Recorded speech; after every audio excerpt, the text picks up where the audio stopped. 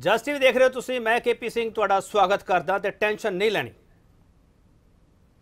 ਮੈਂ ਗਗਨਦੀਪ ਚੌਹਾਨ ਤੇ just TV ਤੇ ਅਸੀਂ ਟੂ ਦਾ ਪੁਆਇੰਟ ਦੇ ਵਿੱਚ ਜਸਟ ਹੈਲਪਲਾਈਨ ਦੇ ਵਿੱਚ ਲਗਾਤਾਰ ਤੁਹਾਨੂੰ ਇਹ ਕਹਿ ਰਹੇ ਹਾਂ ਕਿ ਤੁਹਾਡੀ ਸਵੇਰ ਜਿਹੜੀ ਹੈਗੀ ਉਹ ਪੋਜ਼ਿਟਿਵ ਥਾਟਸ ਦੇ ਨਾਲ ਸ਼ੁਰੂ ਹੋਣੀ ਚਾਹੀਦੀ ਹੈ। ਪੋਜ਼ਿਟਿਵ ਥਾਟਸ ਦਾ ਮਤਲਬ ਕੀ ਹੈਗਾ 네ਗੇਟਿਵਿਟੀ ਤੋਂ ਦੂਰ ਹੋਣ ਦਾ ਮਤਲਬ ਕੀ ਹੈਗਾ 네ਗੇਟਿਵਿਟੀ ਨੂੰ ਦੂਰ ਹਟਾਉਣ ਦਾ ਮਤਲਬ ਕੀ ਹੈਗਾ ਇਹ ਸਮਝਣ ਦੀ ਕੋਸ਼ਿਸ਼ ਕਰਾਂਗੇ। ਬਹੁਤ ਕੁਝ ਸਮਝਣ ਦੀ ਕੋਸ਼ਿਸ਼ ਕਰਾਂਗੇ, ਤੁਹਾਨੂੰ ਹੱਲ ਵੀ ਦੱਸਾਂਗੇ ਇਹਦੇ, ਕਿਉਂਕਿ ਡਾਕਟਰ ਸਾਹਿਬ ਵੀ ਸਾਡੇ ਨਾਲ ਹੋਣਗੇ ਮੌਜੂਦ, ਪਰ ਸਭ ਤੋਂ ਵੱਡਾ ਸਵਾਲ ਹੈ, ਜਿਹੜਾ ਸਾਡੇ ਸਾਰਿਆਂ ਅੱਗੇ ਹੈ, ਵੈਸੇ ਕਹਿੰਦੇ ਬੜਾ ਸਵਾਲ ਬੇਮਾਨਾ ਹੈਗਾ, ਘਰੇ ਬੈਠਾ ਡਰ ਲੱਗਦਾ ਪਿਆ, ਤੁਸੀਂ ਕਿਨੇ ਟੈਨਸ਼ਨ ਲੈਣੀ, ਪਰ ਮੈਂ ਵਾਰ-ਵਾਰ ਇਹ ਕਹਿ ਰਿਹਾ, ਸਾਡੀ ਪੂਰੀ ਟੀਮ ਇਹ ਕਹਿ ਰਹੀ ਹੈ, ਟੈਨਸ਼ਨ ਨਹੀਂ ਲੈਣੀ।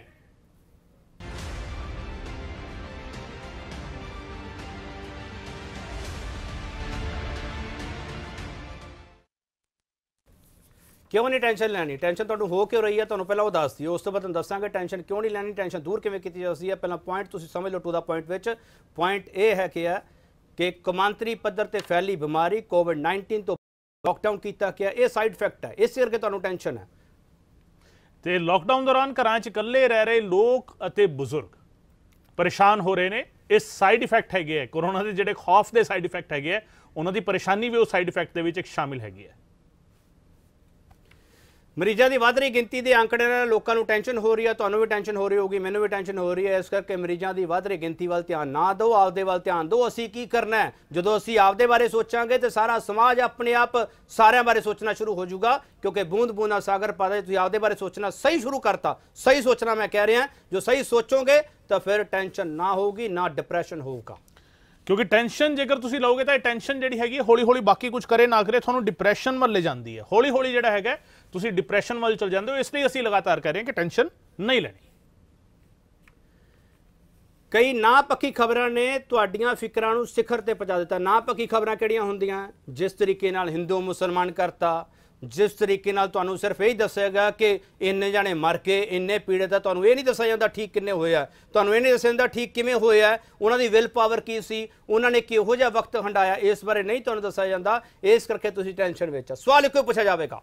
ਵੱਡਾ ਸਵਾਲ ਇਸ ਚਰਚਾ ਦੇ ਵਿੱਚ ਇਹ ਪੁੱਛਿਆ ਜਾਵੇਗਾ ਕਰੋਨਾ ਵਾਇਰਸ ਦੇ ਨਾਂ ਤੇ ਤੁਸੀਂ ਟੈਨਸ਼ਨ ਕਿਉਂ ਲੈ ਰਹੇ ਹੋ? ਤੁਹਾਡੇ ਤੇ ਕੋਈ ਸਵਾਲ ਹੈਗਾ। ਤੁਸੀਂ ਇਸ ਦਾ ਜਵਾਬ ਦੇਣਾ ਤੇ ਜੇ ਤੁਹਾਡੇ ਕੋਲ ਜਵਾਬ ਨਹੀਂ ਹੈਗਾ ਤਾਂ ਸਾਡੇ ਨਾਲ ਜੁੜੇ ਰਹੋ। ਸਾਡੇ ਤੋਂ ਸਮਝੋ ਡਾਕਟਰ ਸਾਹਿਬ ਸਾਡੇ ਨਾਲ ਹੋਣਗੇ। ਉਹ ਦੱਸਣਗੇ ਟੈਨਸ਼ਨ ਕਿਉਂ ਲੈ ਰਹੇ ਹੋ ਤੁਸੀਂ ਤੇ ਇਸ ਟੈਨਸ਼ਨ ਦਾ ਹੱਲ ਕੀ ਹੈ ਕਿਉਂਕਿ ਟੈਨਸ਼ਨ ਦਾ ਟ੍ਰੀਟਮੈਂਟ ਹੈ ਡਾਕਟਰ ਸਾਹਿਬ ਕੋਲ। ਇਸ ਕਰਕੇ ਡਾਕਟਰ ਸਾਹਿਬ ਸਾਡੇ ਨਾਲ ਮੌਜੂਦ ਹੋਣਗੇ। ਕਿਹੜੇ ਡਾਕਟਰ ਹੋਣਗੇ ਉਹ ਵੀ ਤੁਹਾਨੂੰ ਦੱਸਾਂਗੇ ਜ਼ਰੂਰ। ਸਵਾਲ ਬਹੁਤ ਸਾਰੇ ਹੈਗੇ ਆ। ਗਗਨ ਪਹਿਲਾਂ ਤਾਂ ਤੁਸੀਂ ਮੈਨੂੰ ਦੱਸੋ ਤੁਹਾਨੂੰ ਟੈਨਸ਼ਨ ਹੈਗੀ? ਨਹੀਂ। ਝੂਠ ਬੋਲਦੇ ਪਏ ਨਹੀਂ। ਡਾਕਟਰ ਸਾਹਿਬ ਹੁਣੇ ਦੱਸ ਦੇਣਗੇ। ਡਾਕਟਰ ਸੰਤੋਖ ਸਿੰਘ ਸਾਡੇ ਨਾਲ ਮੌਜੂਦ ਹੈਗੇ ਡਾਕਟਰ ਸੰਤੋਖ ਸਿੰਘ 20 ਸਾਲ ਦਾ ਨਾ ਤਜਰਬਾ ਹੈ। ਇਹ ਖੁਦ ਚਾਈਨਾ ਵੀ ਜਾ ਕੇ ਆਏ ਆ। ਇੱਕ ਮਹੀਨਾ ਚਾਈਨਾ ਚ ਰਹੇ ਆ। 20 ਸਾਲ ਇਹਨਾਂ ਨੇ ਇਸ ਖਿੱਤੇ ਦੇ ਵਿੱਚ ਕੰਮ ਕੀਤਾ ਬਹੁਤ ਤਜਰਬੇਕਾਰ ਹੈ। ਇਹ ਹਮੇਸ਼ਾ ਕਹਿੰਦੇ ਟੈਨਸ਼ਨ ਨਹੀਂ ਲੈਣੀ। ਇਹ ਆਪਦੇ ਤਰਕ ਵੀ ਬਹੁਤ ਅ, ਅਲੱਗ ਤਰੀਕੇ ਨਾਲ ਦਿੰਦੇ ਇਸ ਕਰਕੇ ਇਹਨਾਂ ਨੂੰ ਸੱਦਿਆ। ਤਰਕ ਦੇ ਵਿਚਾਲੇ ਇਹ ਇਹਨਾਂ ਤੋਂ ਵੀ ਸਮਝਣ ਦੀ ਕੋਸ਼ਿਸ਼ ਕਰਾਂਗੇ। ਇਹਨਾਂ ਤਰਕ ਆ ਜਿਹੜੇ WHO ਨਾਲ ਇਤਫਾਕ ਰੱਖਦੇ ਆ ਨਹੀਂ ਰੱਖਦੇ ਜਾਂ ਡਾਕਟਰ ਸੰਤੋਖ ਸਿੰਘ ਆਪਦੇ ਨਾਮ ਦੇ ਹਿਸਾਬ ਦੇ ਨਾਲ ਚੱਲਦੇ ਪਏ ਕਿਉਂਕਿ ਇਹਨਾਂ ਨਾਮ ਸੰਤੋਖ ਸਿੰਘ ਹੈ। ਡਾਕਟਰ ਸੰਤੋਖ ਸਿੰਘ ਬਹੁਤ ਸਵਾਗਤ ਹੈ ਤੁਹਾਡਾ। ਹਾਂਜੀ ਸਰ। ਸਤਿ ਸ਼੍ਰੀ ਅਕਾਲ ਜੀ। ਸਤਿ ਸ਼੍ਰੀ ਅਕਾਲ ਜੀ। ਡਾਕਟਰ ਸਾਹਿਬ ਪਹਿਲਾ ਸਵਾਲ ਤਾਂ ਇਹੀ ਕਰੂੰਗਾ ਜਿਹੜੀ ਗੱਲ ਤੁਸੀਂ ਵਾਰ-ਵਾਰ ਕਹਿ ਰਹੇ ਹੋ ਕਿ ਸਾਈਡ ਇਫੈਕਟ ਹੋ ਰਿਹਾ ਹੈ ਟੈਨਸ਼ਨ ਹੋ ਰਹੀ ਹੈ ਖੁਸ਼ ਰਹਿਣ ਵਾਲੇ ਹਾਰਮੋਨ ਆ ਜਿਹੜੇ ਸਾਡੇ ਆਊਟ ਹੋ ਰਹੇ ਆ ਜਿਹਨੂੰ। ਤੁਸੀਂ ਐਡਰਲਿਨ ਕਹਿੰਦੇ ਹੋ ਡੋਪਾਮਾਈਨ ਕਹਿੰਦੇ ਹੋ ਤੇ ਹੋਰ ਵੀ ਕਈ ਤੁਸੀਂ ਉਹਦੇ ਇਫੈਕਟ ਦੱਸ ਦੋਗੇ। ਸਾਨੂੰ। ਮੈਨੂੰ ਦੱਸੋ ਆਊਟ ਕਿਉਂ ਹੋ ਰਹੇ ਹਾਰਮੋਨ ਉਹ? ਦੇਖੋ ਹੁੰਦਾ ਕੀ ਪਿਆ ਕਿ ਆਪਾਂ ਅਖਬਾਰ ਪੜ੍ਹਦੇ ਆਂ ਕਰੋਨਾ ਟੀਵੀ ਦੇਖਦੇ ਆਂ, ਕਰੋਨਾ, ਗੱਲ ਕਰਦੇ ਆਂ, ਕਰੋਨਾ, ਸੋਚਦੇ ਆਂ, ਕਰੋਨਾ ਆਂਡੀ ਗਵਾਂਡੀ ਕਰੋਨਾ ਕਰਦਾ ਹੈ। ਉਹ ਕਰੋਨਾ, ਜੋ ਅਸੀਂ ਬਾਰ-ਬਾਰ ਸੋਚੀ ਜਾਵਾਂਗੇ ਸੋਚੀ ਜਾਵਾਂਗੇ, ਸਾਡੇ ਦਿਮਾਗ ਦੇ ਵਿੱਚ ਉਹ ਚੀਜ਼ ਬਹਿ ਜਾਂਦੀ ਹੈ। ਜਿਸ ਤਰ੍ਹਾਂ ਅਸੀਂ ਵਾਹਿਗੁਰੂ ਵਾਹਿਗੁਰੂ ਵਾਹਿਗੁਰੂ ਬਾਰ-ਬਾਰ ਕਰਦੇ ਆਂ ਤੇ ਸਾਨੂੰ ਲੱਗਦਾ ਕਿ ਰੱਬ ਸਾਡੇ ਕੋਲ ਬੈਠਾ। ਜਿਸ ਤਰ੍ਹਾਂ ਅਸੀਂ 네ਗੇਟਿਵ ਥਿੰਕਿੰਗ ਨੂੰ ਬਾਰ-ਬਾਰ ਸੋਚੀ ਜਾਵਾਂਗੇ ਸੋਚੀ ਜਾਵਾਂਗੇ ਸੋਚੀ ਜਾਵਾਂਗੇ, ਐ ਲੱਗੇਗਾ ਕਿ ਕਰੋਨਾ ਸਾਡੇ ਕੋਲ ਆ ਕੇ ਬਹਿ ਗਿਆ। ਮੈਨੂੰ ਲੱਗ ਹੀ ਗਿਆ ਕਰੋਨਾ, ਮੈਨੂੰ ਹੋ ਹੀ ਗਿਆ।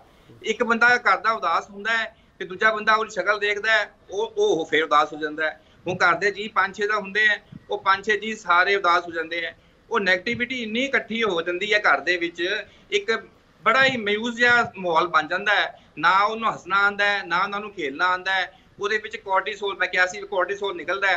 ਜਿਹੜਾ ਕੋਰਟੀਸੋਲ ਹੈਗਾ it will lead to depression ਤੁਸੀਂ 네ਗੇਟਿਵਿਟੀ ਸੋਚੋਗੇ ਤੇ ਜਦ ਤੁਸੀਂ 네ਗੇਟਿਵ ਮਾਹੌਲ ਚ ਰਹੋਗੇ 네ਗੇਟਿਵ ਸੋਚੋਗੇ ਤੇ ਮੈਂ ਤਾਂ ਬਾਰ-ਬਾਰ ਕਹਿੰਦਾ ਹਾਂ ਕਿ 네ਗੇਟਿਵ ਨਾ ਸੋਚੋ। ਕਿਹੜਾ ਤੂਫਾਨ ਹੈ ਜਿਹੜਾ ਅੱਜ ਤੱਕ ਆ ਹੀ ਗਿਆ ਵੱਗੀ ਜਾਂਦਾ ਹੈ ਵੱਗੀ ਜਾਂਦਾ ਹੈ। ਤੂਫਾਨ ਆਉਂਦਾ ਤਾਂ ਰੁਕਦਾ ਵੀ ਹੈ। ਡਾਕਟਰ ਸੰਤੋਖ ਸਿੰਘ ਜੀ ਜਿਹੜੇ ਹਾਰਮੋਨ ਤੁਸੀਂ ਗੱਲ ਕਰ ਰਹੇ ਹੋ ਕਿ ਕੋਰਟੀਸੋਲ ਨਿਕਲ ਰਿਹਾ ਹੈਗਾ ਸਾਡੇ ਚੋਂ ਐਡਰਲਿਨ ਹੈਗਾ ਡੋਪਾਮਾਈਨ ਹੈਗਾ ਖੁਸ਼ ਰੱਖਣ ਵਾਲੇ ਹਾਰਮੋਨ ਸਾਡੇ ਮੌਜੂਦ ਹੈਗੇ ਆ। ਜਾਂ ਅਸੀਂ ਉਹਨਾਂ ਨੂੰ ਸਾਹਮਣੇ ਪਾ ਰਹੇ ਉਹ ਤਾਂ ਹੁੰਦੇ ਆ ਭਾਜੀ ਅਗਰ ਪੋਜ਼ਿਟਿਵ ਰਵਾਂਗੇ ਸਾਡੇ ਵਿੱਚ ਹੈਗੇ ਨੇ। ਜਦ ਅਸੀਂ ਅੱਛੇ ਕੰਮ ਕਰਾਂਗੇ ਅੱਛਾ ਰੱਬ ਦਾ ਨਾਮ ਲਵਾਂਗੇ ਪ੍ਰਭ ਦਾ ਸਿਮਰਨ ਸਭ ਤੋਂ ਉੱਚਾ। ਜਦ ਅਸੀਂ ਸਿਮਰਨ ਦੀ ਗੱਲ ਕਰਾਂਗੇ ਜਦ ਅਸੀਂ ਕ੍ਰੀਏਟੀਵਿਟੀ ਦੀ ਗੱਲ ਕਰਾਂਗੇ ਜਦ ਸੰਸਾਰ ਬਣਿਆ ਹੈ ਇਹ ਨਸ਼ਟ ਹੋਣ ਲਈ ਨਹੀਂ ਬਣਿਆ ਇਹ ਉਪਜਣ ਲਈ ਬਣਿਆ ਹੈ। ਅਸੀਂ ਜਿਹੜੇ ਗਲਤ ਸਾਡੇ ਭਰਾਵਾਂ ਨੇ ਜਿਹੜੇ ਗਲਤ ਕੰਮ ਕੀਤੇ ਕਿਸੇ ਕਿਸੇ ਕੰਟਰੀ ਦੇ ਵਿੱਚ ਉਹ ਸਾਰੇ ਸੰਸਾਰ ਦੇ ਬੰਦੇ ਇੱਕ ਦੂਜੇ ਨਾਲ ਜੁੜੇ ਹੋਏ ਆ ਇੱਕ ਕਮਿਊਨਿਟੀ ਗਲਤ ਕੰਮ ਕਰਦੀ ਹੈ ਇੱਕ ਪਾਸਾ ਗਲਤ ਕੰਮ ਕਰਦਾ ਉਹਦਾ ਭੁਗਤਾਨ ਪੂਰੇ ਪੂਰੇ ਪੂਰੇ ਵਰਲਡ ਨੂੰ ਦੇਣਾ ਪੈਂਦਾ। ਤੇ ਇਹ ਚੀਜ਼ ਆਪਾਂ ਨੂੰ ਸੋਚਣੀ ਚਾਹੀਦੀ ਹੈ ਉਹ ਗੱਲ ਵੱਖਰੀ ਹੈ ਬਾਕੀ ਇਹ ਹੈ ਕਿ ਅਸੀਂ ਪੋਜ਼ਿਟਿਵ ਰਹੀਏ ਤਾਂ ਹੀ ਇਹ ਐਡਰਲਿਨ ਨਿਕਲੇਗਾ ਤਾਂ ਹੀ ਡੋਪਾਮਾਈਨ ਸਾਡਾ ਲਈ ਨਿਕਲੇਗੇ ਤਾਂ ਹੀ ਅਸੀਂ ਖੁਸ਼ ਰਹਿਣ ਦੀ ਕੋਸ਼ਿਸ਼ ਕਰਾਂਗੇ ਤਾਂ ਹੀ ਸਾਡਾ ਜਿਹੜੀ ਸ਼ਕਲ ਹੈ ਐ ਹੋ ਜਾਏਗੀ ਉੱਪਰ ਨੂੰ। ਆਪਾਂ ਅਗਰ ਨਹੀਂ ਨਹੀਂ ਆਪਾਂ ਉਲਟਾ ਸੋਚਾਂਗੇ ਤੇ ਆ ਮੂੰਹ ਥੱਲੇ ਨੂੰ ਹੋ ਜਾਏਗਾ। ਇਹ ਆਪਾਂ ਮੂੰਹ ਥੱਲੇ ਨੂੰ ਕੀਤਾ ਹੋਇਆ ਸਾਰਿਆਂ ਨੇ ਦੇਖ ਦੇਖ ਕੇ ਇੱਕ ਦੂਜੇ ਦਾ ਮਾਹੌਲ ਦੇਖ ਦੇਖ ਕੇ ਉਹ ਬੜਾ ਹੀ ਗਲਤ ਸਕ੍ਰੈਨੋ ਬਣਿਆ ਹੋਇਆ ਪੂਰੇ ਵਰਲਡ ਦੇ ਵਿੱਚ ਇੰਨੀ ਡੈਥਸ ਹੋ ਰਹੀਆਂ ਨੇ। ਮਤਲਬ ਲੋਕਡਾਊਨ ਹੋ ਗਿਆ ਹੁਣ ਬੰਦੇ ਪਰੇਸ਼ਾਨ ਹੋ ਗਏ ਕਿ ਕਰ ਬੈ ਕੇ ਕਰਨ ਤੇ ਕਰਨ ਕੀ? ਤੇ ਉਹਦੇ ਵਿੱਚ ਮੈਂ ਇਹ ਕਹਾਂਗਾ ਤੁਹਾਨੂੰ ਤੁਸੀਂ ਤੁਹਾਨੂੰ ਇੱਕ ਮੌਕਾ ਮਿਲਿਆ ਹੈ ਕਿ ਤੁਸੀਂ ਆਪਣੇ ਫੈਮਿਲੀ ਦੇ ਨਾਲ ਬੈਠ ਕੇ ਜੋ ਤੁਸੀਂ ਕਦੀ ਅੱਜ ਤੱਕ ਕਰ ਨਹੀਂ ਸਕੇ ਤੁਸੀਂ ਫੈਮਿਲੀ ਨਾਲ ਕਦੀ ਟਾਈਮ ਦੇ ਨਹੀਂ ਸਕੇ ਹੁਣ ਤੁਹਾਨੂੰ ਮੌਕਾ ਮਿਲਿਆ ਹੈ ਆਪਣੇ ਬੱਚਿਆਂ ਨਾਲ ਬੀਬੀ ਨਾਲ ਤੁਸੀਂ ਘਰ ਦੇ ਵਿੱਚ ਇਨਡੋਰ ਗੇਮਸ ਹੋ ਗਈਆਂ ਕਈ ਚੀਜ਼ਾਂ ਆਪ ਘਰ 'ਚ ਬਹਿ ਕੇ ਕਰ ਸਕਦੇ ਆ ਜੋ ਅਸੀਂ ਅੱਜ ਤੱਕ ਸੋਚ ਹੀ ਨਹੀਂ ਸਕੇ। ਤੁਹਾਡੀ ਕਈ ਹੌਬੀਜ਼ ਹੋਣਗੀਆਂ। ਹੁਣ ਕਈ ਡਾਕਟਰਸ ਹੈਗੇ ਉਹਨਾਂ ਦੀ ਹੌਬੀਜ਼ ਹੁੰਦੀ ਹੈ ਫੋਟੋਗ੍ਰਾਫੀ ਤੁਸੀਂ ਉਹ ਸ਼ੁਰੂ ਕਰ ਦਿਓ ਘਰ ਦੇ ਵਿੱਚ। ਆਈ ਮੀਨ ਟੂ ਸੇ ਤੁਸੀਂ ਆਪਣੀ ਆਪਣੀ ਜੋ ਵੀ ਤੁਹਾਡੇ ਇੰਟਰਸਟ ਹੈਗੇ ਆ ਤੁਸੀਂ ਉੱਥੇ ਧਿਆਨ ਡਾਇਵਰਟ ਕਰੋ। ਕਰੋਨਾ ਕਰੋਨਾ ਤੋਂ ਨਿਕਲ ਜਾਓ। ਕਰੋਨਾ ਨੇ ਆਪਣਾ ਜਿਹੜਾ ਕੰਮ ਕਰਨਾ ਹੈ ਉਹਨੇ ਆਪਣੀ ਬੁਨਿਆਦ ਹੈ। ਕਰੋਨਾ ਦੀ ਇੱਕ ਬੁਨਿਆਦ ਹੈ ਟੈਂਪਰੇਚਰ ਦੇ ਵਿੱਚ ਜਾ ਕੇ ਖਾਸ ਟੈਂਪਰੇਚਰ ਤੇ ਖਾਸ ਹਿਊਮਿਡਿਟੀ ਵਿੱਚ ਜਾ ਕੇ ਇਹਨੇ ਆਪਣੇ ਮੌਤ ਖੁਦ ਮਰਨਾ ਹੈ। ਹੂੰ। ਠੀਕ ਹੈ ਜੀ ਇਹਦੀ ਹਾਲੇ ਫਿਲਹਾਲ ਕੋਈ ਵੈਸੇ ਮੇਰੇ। ਸਹਿਯੋਗੀ ਨੇ ਸਵਾਲ ਲੈਣਾ ਸੀ ਤੁਹਾਡੇ ਕੋਲ ਗਗਨ ਨੇ ਪਰ WHO ਤੁਹਾਡੀ ਇਸ ਥਿਊਰੀ ਨਾਲ ਇਤਫਾਕ ਨਹੀਂ ਰੱਖਦਾ ਜਿਹੜੀ ਥਿਊਰੀ ਤੁਸੀਂ ਦੇ ਰਹੇ ਹੋ ਕਿ ਟੈਂਪਰੇਚਰ? ਵਧੂਗਾ ਤੇ ਇਹ ਕਰੋਨਾ ਮਰ ਜਾਊਗਾ ਆਪਣੇ ਆਪ ਮਰ ਜਾਊਗਾ ਕਰੋਨਾ ਆਪਣੇ ਆਪ ਖਤਮ ਹੋ ਜਾਊਗਾ। WHO ਤਾਂ ਇਸ। ਨੂੰ ਪ੍ਰਮਾਣਿਤ ਨਹੀਂ ਕਰ ਰਿਹਾ ਸਰ। ਦੇਖੋ ਕਰੋਨਾ ਦਾ ਜਿਹੜਾ- ਕਰੋਨਾ ਇੱਕ ਵਾਇਰਸ ਹੈ ਧਿਆਨ ਨਾਲ ਸਮਝੋ। ਉਹਦੀ ਜਿਹੜੀ ਲੇਅਰ ਹੈ ਉਹ ਪ੍ਰੋਟੀਨ ਨਾਲ ਬਣੀ ਹੋਈ ਹੈ। ਹੂੰ। ਉਹਦੇ ਜਿਹੜੇ ਸਾਈਟੇ ਸਪਾਈਕਸ ਨਿਕਲੇ ਹੋਏ ਆ ਉਹ ਫੈਟ ਨਾਲ ਬਣੇ ਹੋਏ ਆ ਪ੍ਰੋਟੀਨ ਜਿਹੜਾ ਹੁੰਦਾ ਹੈ ਨਾ ਉਹਦਾ ਟੈਂਪਰੇਚਰ 37 ਡਿਗਰੀ ਤੇ ਉੱਪਰ ਜਾ ਕੇ ਉਹ ਆਪਣੀ ਡੀਨੇਚਰਡ ਹੋ ਜਾਂਦਾ ਹੈ। ਡੀਨੇਚਰ ਦਾ ਮਤਲਬ ਹੁੰਦਾ ਹੈ ਕਿ ਇਸ ਤਰ੍ਹਾਂ ਸਮਝੋ ਕਿ ਇਸ ਤਰ੍ਹਾਂ ਅੰਡੇ ਦਾ ਪ੍ਰੋਟੀਨ ਹੈ ਵਾਈਟ ਵਾਲਾ ਉਹਨੂੰ ਟੈਂਪਰੇਚਰ ਦਿੰਦੇ ਆ ਤੇ ਉਹ ਇੱਕ ਆਮਲੇਟ ਬਣ ਜਾਂਦਾ ਹੈ। ਉਸੇ ਤਰੀਕੇ ਦੇ ਨਾਲ ਗਰਮੀ ਦੇ ਵਿੱਚ ਜਾ ਕੇ ਪ੍ਰੋਪਰ ਗਰਮੀ ਦੇ ਵਿੱਚ ਜਾ ਕੇ ਨਮੀ ਦੀ ਮਾਤਰਾ ਘੱਟ ਹੋਣੀ ਚਾਹੀਦੀ ਹੈ। ਪ੍ਰੋਟੀਨ ਜਿਹੜਾ ਆਊਟਰ ਵਾਲ ਹੈ ਵਾਇਰਸ ਦੀ ਜਿਹੜੀ ਆਊਟਰ ਵਾਲ ਹੈਗੀ ਆ ਉਹ ਮੇਡ ਆਫ ਪ੍ਰੋਟੀਨ ਹੈ। WHO ਉਹਨੂੰ ਮੰਨਦਾ ਹੈ। ਤੇ ਜਿਹੜਾ ਵਾਇਰਸ ਨੂੰ ਮਾਰਨ ਵਾਸਤੇ only and only heat is available ਸਿਰਫ ਉਹ ਗਰਮੀ ਦੇ ਵਿੱਚ ਹੀ ਮਰੇਗਾ। ਇਹ ਹੁਣ ਟਾਈਮ ਹੀ ਦੱਸੇਗਾ ਆਉਣ ਵਾਲਾ। ਇਹ ਕਿਸ ਤਰੀਕੇ ਨਾਲ ਇਹ ਆਪਣੇ ਆਪ ਆਪਣੀ ਮੌਤ ਮਰਦਾ ਹੈ? ਪਰ ਮੇਰਾ ਖਿਆਲ ਤਾਂ ਇਹ ਹੈ ਕਿ ਜੋ ਇਸ ਟਾਈਮ ਮਾਹੌਲ ਬਣਿਆ ਹੋਇਆ ਟੈਂਪਰੇਚਰ ਦਾ ਉਹ ਉਹ ਵਾਇਰਸ ਨੂੰ ਉਪਜਣ ਦੇ ਵਿੱਚ ਹੈਲਪ ਕਰ ਰਿਹਾ ਹੈ। ਜਿਹੜੀ ਆਊਟਰ ਵਾਲ ਜਿਹੜੀ ਪ੍ਰੋਟੀਨ ਦੀ ਹੈਗੀ ਹੈ ਉਹ ਪ੍ਰੋਟੀਨ ਨੂੰ ਡੀਨੇਚਰ ਪ੍ਰੋਟੀਨ ਨੂੰ ਸਾੜਨ ਵਾਸਤੇ ਪ੍ਰੋਟੀਨ ਨੂੰ ਡੀਨੇਚਰ ਕਰਨ ਵਾਸਤੇ ਤੇ ਸਾਨੂੰ ਹੀਟ ਚਾਹੀਦੀ ਹੈ। ਇਹਦੀ ਪਰਫੈਕਟ ਹੀਟ ਹੈਗੀ ਹੈ 57 57 ਤੇ ਜਾ ਕੇ ਤਾਂ ਆਦਮੀ ਵੀ ਉਹ ਨੁਕਸਾਨ ਹੋ ਜਾਏਗਾ। ਟੈਂਪਰੇਚਰ ਆਮ ਮਾਰਕ ਜਿਹੜਾ ਹੁੰਦਾ ਹੈ ਹਵਾ ਦੇ ਵਿੱਚ ਉਹ 37 38 40 42 ਇਸ ਤੱਕ ਰਹਿੰਦਾ ਹੈ। ਲੇਕਿਨ 42 ਦੇ ਵਿੱਚ ਜਾ ਕੇ ਇਹਦੀ ਐਕਟੀਵਿਟੀ ਵਾਇਰਸ ਦੀ ਘਟਣੀ ਸ਼ੁਰੂ ਹੋ ਜਾਏਗੀ। ਜਿਸ ਤਰ੍ਹਾਂ ਗਰਮੀ ਵਧੇਗੀ ਨਮੀ ਘਟੇਗੀ ਪ੍ਰੋਟੀਨ ਦੀ ਐਕਟੀਵਿਟੀ ਵਾਲ ਦੀ ਐਕਟੀਵਿਟੀ ਘਟਣੀ ਸ਼ੁਰੂ ਹੋ ਜਾਏਗੀ ਜਿਹੜਾ ਉਹਦੇ ਵਿੱਚ ਉਹਦੇ ਜਿਹੜਾ ਆਰਐਨਏ ਹੈਗਾ ਹੈ ਵਾਇਰਸ ਦੇ ਵਿੱਚ ਜਿਹੜਾ ਆਪਣੇ ਆਪ ਨੂੰ ਰੈਪਲੀਕੇਸ਼ਨ ਕਰ ਰਿਹਾ ਸੈੱਲ ਦੇ ਵਿੱਚ ਆ ਕੇ ਉਹ ਕਮਜ਼ੋਰ ਪੈ ਜਾਏਗਾ। ਆ ਮੈਂ ਕਹਿਣਾ ਚਾਹੁੰਦਾ ਹੈ ਪਰ ਡਾਕਟਰ ਸਾਹਿਬ। ਡਾਕਟਰ ਸਾਹਿਬ ਸਵਾਲ ਫਿਰ ਇੱਥੇ ਇਹ ਵੀ ਹੈਗਾ ਲੋਕਾਂ ਦੇ ਜ਼ਿਹਨ ਵਿੱਚ ਕਿਉਂਕਿ ਸਾਰੀ ਦੁਨੀਆ ਵਿੱਚ ਇਸ ਵੇਲੇ ਲੋਕ ਤੁਹਾਨੂੰ ਸੁਣ ਰਹੇ ਨੇ ਜਿੱਥੇ ਇੱਥੇ ਅਸੀਂ ਪਹੁੰਚ ਪਾ ਰਹੇ ਹਾਂ। ਸਵਾਲ ਇਹ ਵੀ ਉੱਠਦਾ ਹੈ ਕਿ ਫਿਰ ਗਰਮ ਕੰਟਰੀ ਜਿਹੜੇ ਨੇ ਜਿਨ੍ਹਾਂ ਦਾ ਬੇਸਿਕ ਜਿਹੜਾ ਮੌਸਮ ਹੈਗਾ ਉਹੀ ਗਰਮ ਰਹਿੰਦਾ ਹੈ। ਉੱਥੇ ਵੀ ਇਸ ਵਾਇਰਸ ਦੇ ਪੇਸ਼ੈਂਟ ਆਏ ਹੈ। ਉੱਥੇ ਗਰਮੀ ਨਾਲ। ਕਿਉਂ ਨਹੀਂ ਅਸਰ ਹੋਇਆ? ਹਾਂ ਬੜਾ ਅੱਛਾ ਸਵਾਲ ਹੈ। ਪਤਾ ਹੁੰਦਾ ਕੀ ਹੈ? ਦੇਖੋ ਗਰ ਮੈਂ ਕੱਲਾ ਗਰਮੀ ਨਹੀਂ ਕਹਿ ਰਿਹਾ ਮੈਂ ਗਰਮੀ ਨਾਲ ਨਮੀ ਵੀ ਕਹਿ ਰਿਹਾ। ਟੈਂਪਰੇਚਰ ਦੇ ਨਾਲ ਮੈਂ ਮੋਇਸਚਰ ਵੀ ਕਹਿ ਰਿਹਾ ਭਾਜੀ। ਠੀਕ ਹੈ? ਬਾਕੀ ਇਹ ਰੈਪਲੀਕੇਸ਼ਨ ਟੈਂਪਰੇਚਰ ਤੇ ਮੋਇਸਚਰ ਦਾ ਇੱਕ ਇੱਕ ਖਾਸ ਜਿਹੜਾ ਇੱਕ ਸਕਰੀਨੋ ਬਣੇਗਾ ਉਹਦੇ ਵਿੱਚ ਜਾ ਕੇ ਇਹਨੇ ਡੈਡ ਹੋਣਾ ਹੈ। ਨੰਬਰ 2 ਜਿਹੜੇ ਇਹ ਕੰਟਰੀਆਂ ਦੇ ਵਿੱਚ ਤੇ ਹੀਟ ਹੈਗੀ ਹੈ ਉੱਥੇ ਮੋਇਸਚਰ ਲੈਵਲ ਵੀ ਜ਼ਿਆਦਾ ਹੈ ਕਿਸੇ ਕਿਸੇ ਕੰਟਰੀ ਦੇ ਵਿੱਚ। ਤੇ ਉਸ ਕਰਕੇ ਇਹ ਡੈਡ ਨਹੀਂ ਹੋ ਪਾ ਰਿਹਾ ਬਾਕੀ ਵਾਇਰਸ ਖੁਦ ਰੈਪਲੀਕੇਸ਼ਨ ਕਰਕੇ ਖੁਦ ਮਿਊਟੇਸ਼ਨ ਲੈ ਰਿਹਾ ਹੈ। ਆਪਣੀ ਕਾਪੀ ਫੋਟੋਕਾਪੀ ਬਣਾ ਰਿਹਾ ਤੇ ਆਪਣੇ ਆਪ ਨੂੰ ਅਮੈਂਡ ਕਰ ਰਿਹਾ। ਇਹ ਸ਼ੈਤਾਨ ਵਾਇਰਸ ਹੈ ਜਿਹੜਾ ਕਰੋਨਾ ਦਾ ਨਵਾਂ ਆਇਆ ਹੈ ਨਾ। ਪਹਿਲੇ ਇਹ ਸਾਰਸ ਆਇਆ ਸੀ 2002 ਦੇ ਵਿੱਚ ਫਿਰ 2012 ਵਿੱਚ ਇਹ ਮਾਰਸ ਆਇਆ ਸੀਗਾ। ਉਹ ਜਲਦੀ ਕਾਬੂ ਚ ਆ ਗਿਆ ਸੀਗਾ। ਲੇਕਿਨ ਜਿਹੜਾ ਇਸ ਵਾਰੀ ਆਇਆ ਹੈ ਇਹ ਬਹੁਤ ਜਲਦੀ ਮਿਊਟੇਸ਼ਨ ਲੈ ਰਿਹਾ ਹੈ ਐਸ ਪਰ WHO ਇਹ ਮਿਊਟੇਸ਼ਨ ਲੈਣ ਦਾ ਮਤਲਬ ਹੁੰਦਾ ਹੈ ਕਿ ਆਪਣੇ ਆਪ ਨੂੰ ਚੇਂਜ ਕਰ ਰਿਹਾ ਹੈ ਟੈਂਪਰੇਚਰ ਦੇ ਨਾਲ। ਤੇ ਇਹ ਜਿਹੜਾ ਹੈਗਾ ਇਹ ਫਿਲਹਾਲ ਆਪਣੇ ਫਿਊਚਰ ਦਾ ਕੀ ਬਣਨਾ ਹੈ ਉਹਦਾ ਟਾਈਮ ਹੀ ਦੱਸੇਗਾ ਲੇਕਿਨ ਇੰਨੀ ਗਾਰੰਟੀ ਹੈ ਕਿ ਪ੍ਰੋਟੀਨ ਤੁਹਾਨੂੰ ਸਮਝਾ ਬਾਰਾ ਬੋਲ ਰਿਹਾ ਕਿ cell wall is made of protein peptide bonds ਹੁੰਦੇ ਨੇ ਉਹਨੂੰ ਤੋੜਨ ਵਾਸਤੇ ਸਿਰਫ ਤੇ ਸਿਰਫ ਗਰਮੀ ਹੈਗੀ ਹੈ ਤੇ ਨਮੀ ਦਾ ਵੀ ਵਿੱਚ ਰੋਲ ਹੈਗਾ ਹੈ। ਉਹ ਉਹ ਉਹਦੀ ਸਟੱਡੀ ਹੋਣ ਵਾਲੀ ਹੈ ਉਹ ਜੀ, WHO ਜੀ, ਵੱਡੀ ਜੀ। ਵੱਡੀ ਸੰਸਥਾ ਕਰੇਗੀ ਕਾਲਰ ਇੱਕ ਸਾਡੇ ਨਾਲ ਜੁੜ ਰਹੇ ਨੇ ਡਾਕਟਰ ਸਾਹਿਬ ਉਹਨਾਂ ਦੇ ਨਾਲ ਵੀ ਗੱਲ ਕਰ ਲੈਣੇ ਆ ਨਾਲ ਸਵਾਲ ਜਵਾਬ ਵੀ ਤੁਹਾਡੇ ਨਾਲ ਹਾਂਜੀ, ਜਾਰੀ ਰੱਖਾਂਗੇ hello hello hello hello sir ਕੌਣ ਬੋਲ ਰਹੇ ਹੋ ਜੀ? ਕਿੱਥੋਂ ਬੋਲ ਰਹੇ ਹੋ? ਜੀ doctor ਨਾਨੋਦੀ from Connecticut hello hello I think you have another caller I ਚਲੋ ਟੈਨਸ਼ਨ ਚ ਕਈ ਵਾਰੀ ਕਾਲ ਵੀ ਕੱਟੀ ਜਾਂਦੀ ਹੈ ਡਾਕਟਰ ਸਾਹਿਬ ਡਾਕਟਰ ਸਾਹਿਬ ਇੱਕ ਸਵਾਲ ਜ਼ਰੂਰ ਜਹਿਨ ਦੇ ਵਿੱਚ ਆਊਗਾ ਹਾਂਜੀ। ਸਾਰੀ ਦੁਨੀਆ ਕੋਰੋਨਾ ਦੀਆਂ ਖਬਰਾਂ ਦੇਖਦੀ ਪਈ ਹੈ। ਹਾਂਜੀ। ਅਸੀਂ ਜਿਹੜੇ ਗ੍ਰਾਫਿਕਸ ਨਾਲ ਚਲਾ ਰਹੇ ਆ ਜਿਹੜੇ ਤੁਸੀਂ ਕੁਝ ਫੰਡੇ ਦੱਸ ਰਹੇ ਹੋ ਕੁਝ ਤੁਸੀਂ ਉਪਾਅ ਦੱਸ ਰਹੇ ਹੋ ਕਿ ਇਲਾਜ ਦੱਸ ਰਹੇ ਹੋ ਉਹਦੇ ਵਿੱਚ ਅਸੀਂ ਇਹ ਵੀ ਇੱਕ ਦੱਸਿਆ ਕਿ ਸਕਰੀਨ ਤੋਂ ਦੂਰ ਰਹਿਣਾ ਚਾਹੀਦਾ। ਪਰ ਟੀਵੀ ਸਕਰੀਨ ਤੇ ਆ ਕੇ ਜਿਹੜੇ ਸਵਾਲ ਆਮ ਲੋਕਾਂ ਦੇ ਜ਼ਿਹਨ ਵਿੱਚ ਆ ਉਹ ਸਵਾਲ ਇਹ ਹੈਗਾ ਕਿ ਅਸੀਂ ਸਾਰੇ ਟੈਨਸ਼ਨ ਵਿੱਚ ਆ ਸਾਨੂੰ ਫੋਬੀਆ ਜਿਹਨੂੰ ਤੁਸੀਂ ਡਰ ਕਹਿੰਦੇ ਹੋ ਤੁਹਾਡੀ ਭਾਸ਼ਾ ਦੇ ਵਿੱਚ ਫੋਬੀਆ ਜਿਹੜਾ ਬਾਅਦ ਡਿਪਰੈਸ਼ਨ ਦਾ ਰੂਪ ਧਾਰਨ ਕਰਦਾ ਹਾਂਜੀ ਸਵਾਲ ਇਹ ਹੈਗਾ ਕਿ ਉਹ ਸਾਨੂੰ ਤਿੰਨਾਂ ਲੋਕਾਂ ਨੂੰ ਇੱਥੇ ਦੇਖ ਰਹੇ ਆ ਸਿੱਧਾ ਉਹ ਕਹਿਣਗੇ। ਤਿੰਨੇ ਮੂਰਖ ਹੈ ਇਹਨਾਂ ਨੂੰ ਕੁਝ ਨਹੀਂ ਪਤਾ ਹੈ ਤਿੰਨੇ ਮੁਸਕਰਾ ਰਹੇ ਆ ਅਸੀਂ ਘਰੇ ਬੈਠੇ ਡਰ ਰਹੇ। ਡਰ ਰਹੇ ਹਾਂਜੀ। ਦੇਖੋ ਡਰ ਜਦ ਤੁਸੀਂ ਆਪਣੇ ਤੇ ਹਾਵੀ ਕਰ ਲੋਗੇ ਡਰ ਤੁਸੀਂ ਆਪਣੇ ਤੇ ਦੇਖੋ ਫੀਅਰ ਇੰਗਲਿਸ਼ ਵਿੱਚ ਫੀਅਰ ਕਹਿੰਦੇ ਆ ਫੀਅਰ ਕੁਝ ਨਹੀਂ ਹੈ ਇੰਗਲਿਸ਼ ਦਾ ਸਿੰਪਲ ਵਰਡ ਹੈ ਇੱਕ ਕੁਝ ਨਹੀਂ ਹੈਗਾ। ਅਗਰ ਇਹ ਫੀਅਰ ਹਾਵੀ ਹੋ ਜਾਏਗਾ ਤੇ ਉਹਨੂੰ ਅਸੀਂ ਫੋਬੀਆ ਕਹਿ ਦਿੰਦੇ ਆ ਹੁਣ ਮੁਸੀਬਤ ਇੰਨੀ ਲੰਬੀ ਚੌੜੀ ਦੇਖੋ ਹੈਗੀ ਹੈ ਬਹੁਤ ਡੈਥ ਹੋ ਰਹੀ ਹੈ ਬਹੁਤ ਨੁਕਸਾਨ ਹੋ ਰਿਹਾ ਭਾਈ ਨਿਰਮਲ ਸਿੰਘ ਜੀ ਦਾ ਖਾਲਸਾ ਜੀ ਦਾ ਵੀ ਡੈਥ ਹੋਈ ਹੈ। ਬਹੁਤ ਪੂਰੀ ਸੰਗਤ ਦੁਖੀ ਹੈ। ਉਹਦੇ ਵਿੱਚ ਕੋਈ ਦੋ ਰਾਏ ਨਹੀਂ ਹੈਗੀ।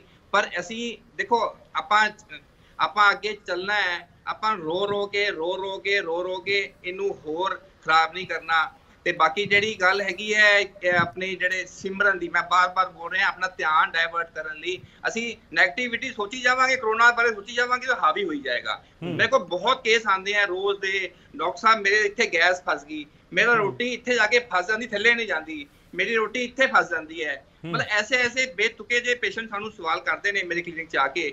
ਅਸੀਂ ਉਹਨਾਂ ਨੂੰ ਇਹੀ ਚੀਜ਼ ਦੱਸਦੇ ਹਾਂ ਕਿ ਇਹ ਕੋਈ ਬਿਮਾਰੀ ਨਹੀਂ ਹੈਗੀ ਇਹ ਤੁਹਾਨੂੰ ਫਿਲਹਾਲ ਜਿਹੜਾ ਇਹ ਮਾਹੌਲ ਬਣਾਤਾ ਗਿਆ ਹੈ ਜਾਂ ਮਾਹੌਲ ਬਣ ਗਿਆ ਹੈ। ਜਿਹੜਾ ਆਪਾਂ ਦੇਖ ਰਹੇ ਹਾਂ ਸਾਰੇ ਇਹ ਇਸ ਕਰਕੇ ਇਹ ਚੀਜ਼ਾਂ ਦੀ ਜਿਹੜੀ ਇੱਕ ਹਲਕੀ ਜੀ ਮਾਈਲਡ ਡਿਪਰੈਸ਼ਨ ਕਹਿ ਲਈਏ ਮੈਂ ਡਿਪਰੈਸ਼ਨ ਬੋਲ ਰਿਹਾ ਜਾਂ ਐਂਗਜ਼ਾਇਟੀ ਕਹਿ ਲਈਏ ਐਂਗਜ਼ਾਇਟੀ ਦਾ ਵਰਡ ਠੀਕ ਰਹੇਗਾ। ਇਹ ਕਰਕੇ ਸਭ ਚੀਜ਼ਾਂ ਹੋ ਰਹੀਆਂ ਨੇ ਬਾਕੀ ਮੈਂ ਸਮਝਾਣਾ ਦੇਖੋ ਬੋਲਣਾ ਬਹੁਤ ਸੌਖਾ ਹੈ ਟੈਨਸ਼ਨ ਨਾ ਲਓ ਕਰਨੀ ਬਹੁਤ ਔਖੀ ਹੈ ਇਹ ਚੀਜ਼। ਬਹੁਤ ਬਹੁਤ ਔਖਾ ਬਹੁਤ ਔਖਾ ਸਹੀ ਕਹਿ ਰਹੇ ਤੇ ਬੈਟਰ ਇਹ ਹੈ ਕਿ ਆਪਾਂ ਆਪਣਾ ਜੋ ਸਾਡੀ ਹੌਬੀ ਹੈਗੀ ਜੋ ਸਾਡੇ ਇੰਟਰਨਲ ਸਾਡੇ ਫੀਲਿੰਗਸ ਹੈਗੀਆਂ ਜੋ ਅਸੀਂ ਕਰਨਾ ਚਾਹੁੰਦੇ ਸੀਗੇ ਕਿਸੇ ਟਾਈਮ ਦੇ ਵਿੱਚ ਜੋ ਰਹਿ ਗਈਆਂ ਨੇ ਹੁਣ ਲੋਕਡਾਊਨ ਹੈ ਇਸੇ ਪੂਰਾ ਵਰਲਡ ਲੋਕਡਾਊਨ ਹੈ। ਹੁਣ ਘਰ 'ਚ ਬਹਿ ਕੇ ਬੰਦਾ ਕੀ ਕਰੇਗਾ? ਉਹੀ ਉਹੀ ਸਭ ਮੈਂਬਰਸ ਹੈਗੇ ਆਪਸ ਦੇ ਵਿੱਚ।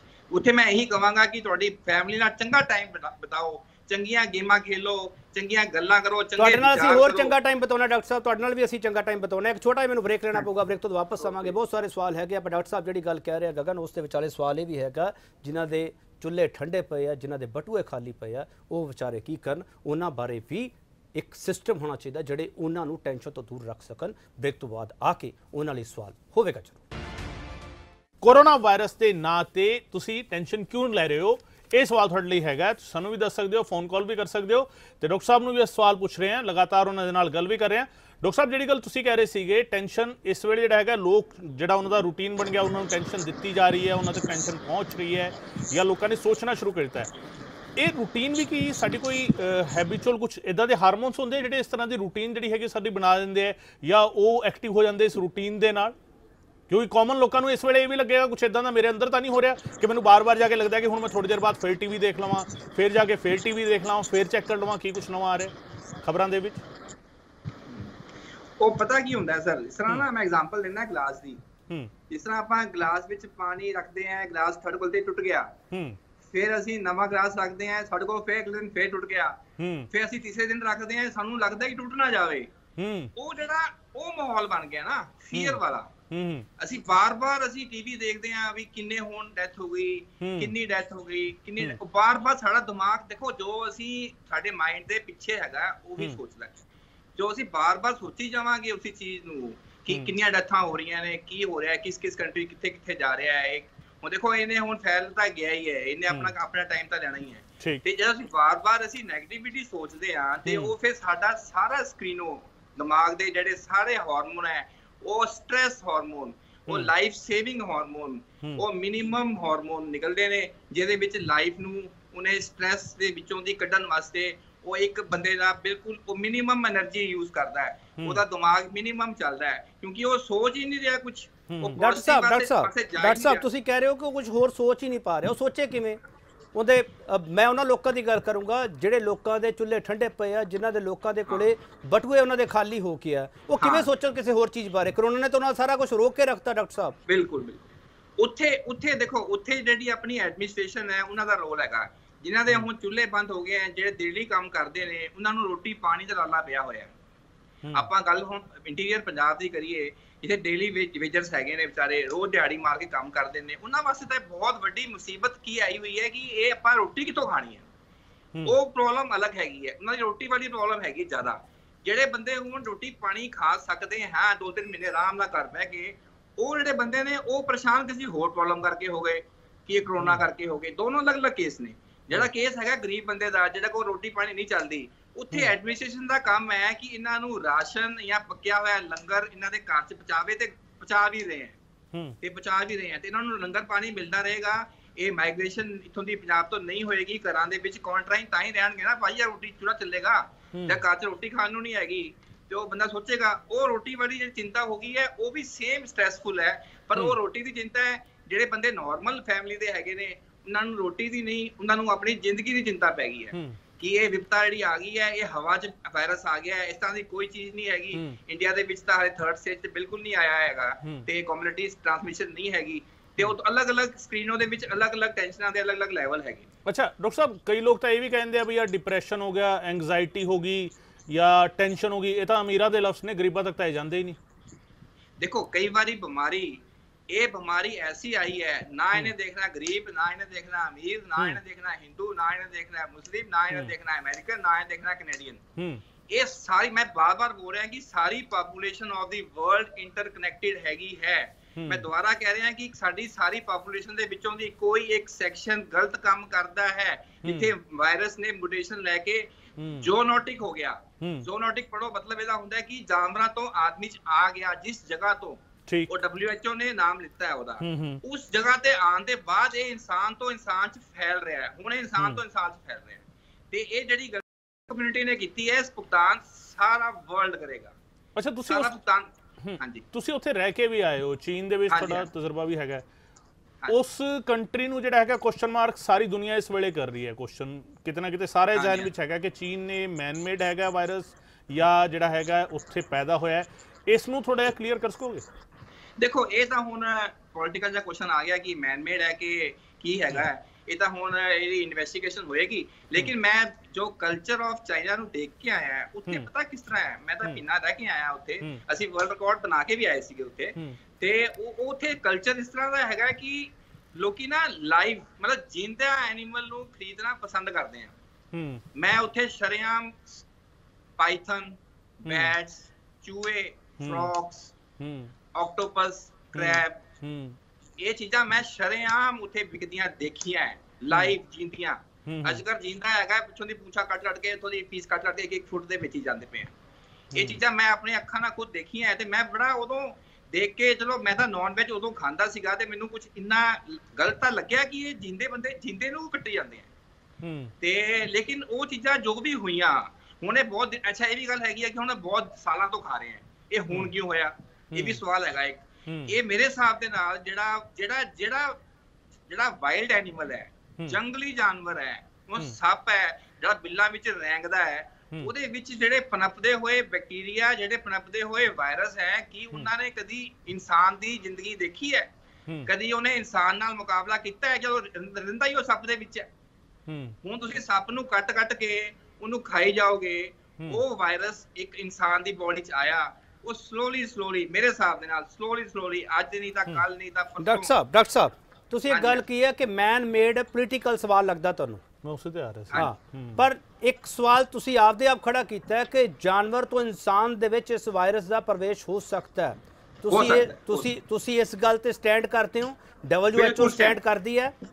ਹਾਂਜੀ ਹਾਂਜੀ। ਇਹ WHO ਵੀ ਸਟੈਂਡ ਕਰਦੀ ਹੈ ਕਿਉਂਕਿ ਇਹ ਜਿਹੜਾ 2002 ਦੇ ਵਿੱਚ ਜਿਹੜਾ ਸਾਰਸ ਆਇਆ ਸੀ ਸਾਰਸ ਦੇ ਵਿੱਚ ਬੈਟਸ ਹੂੰ। ਚਮਗਾਦੜਾਂ ਤੋਂ।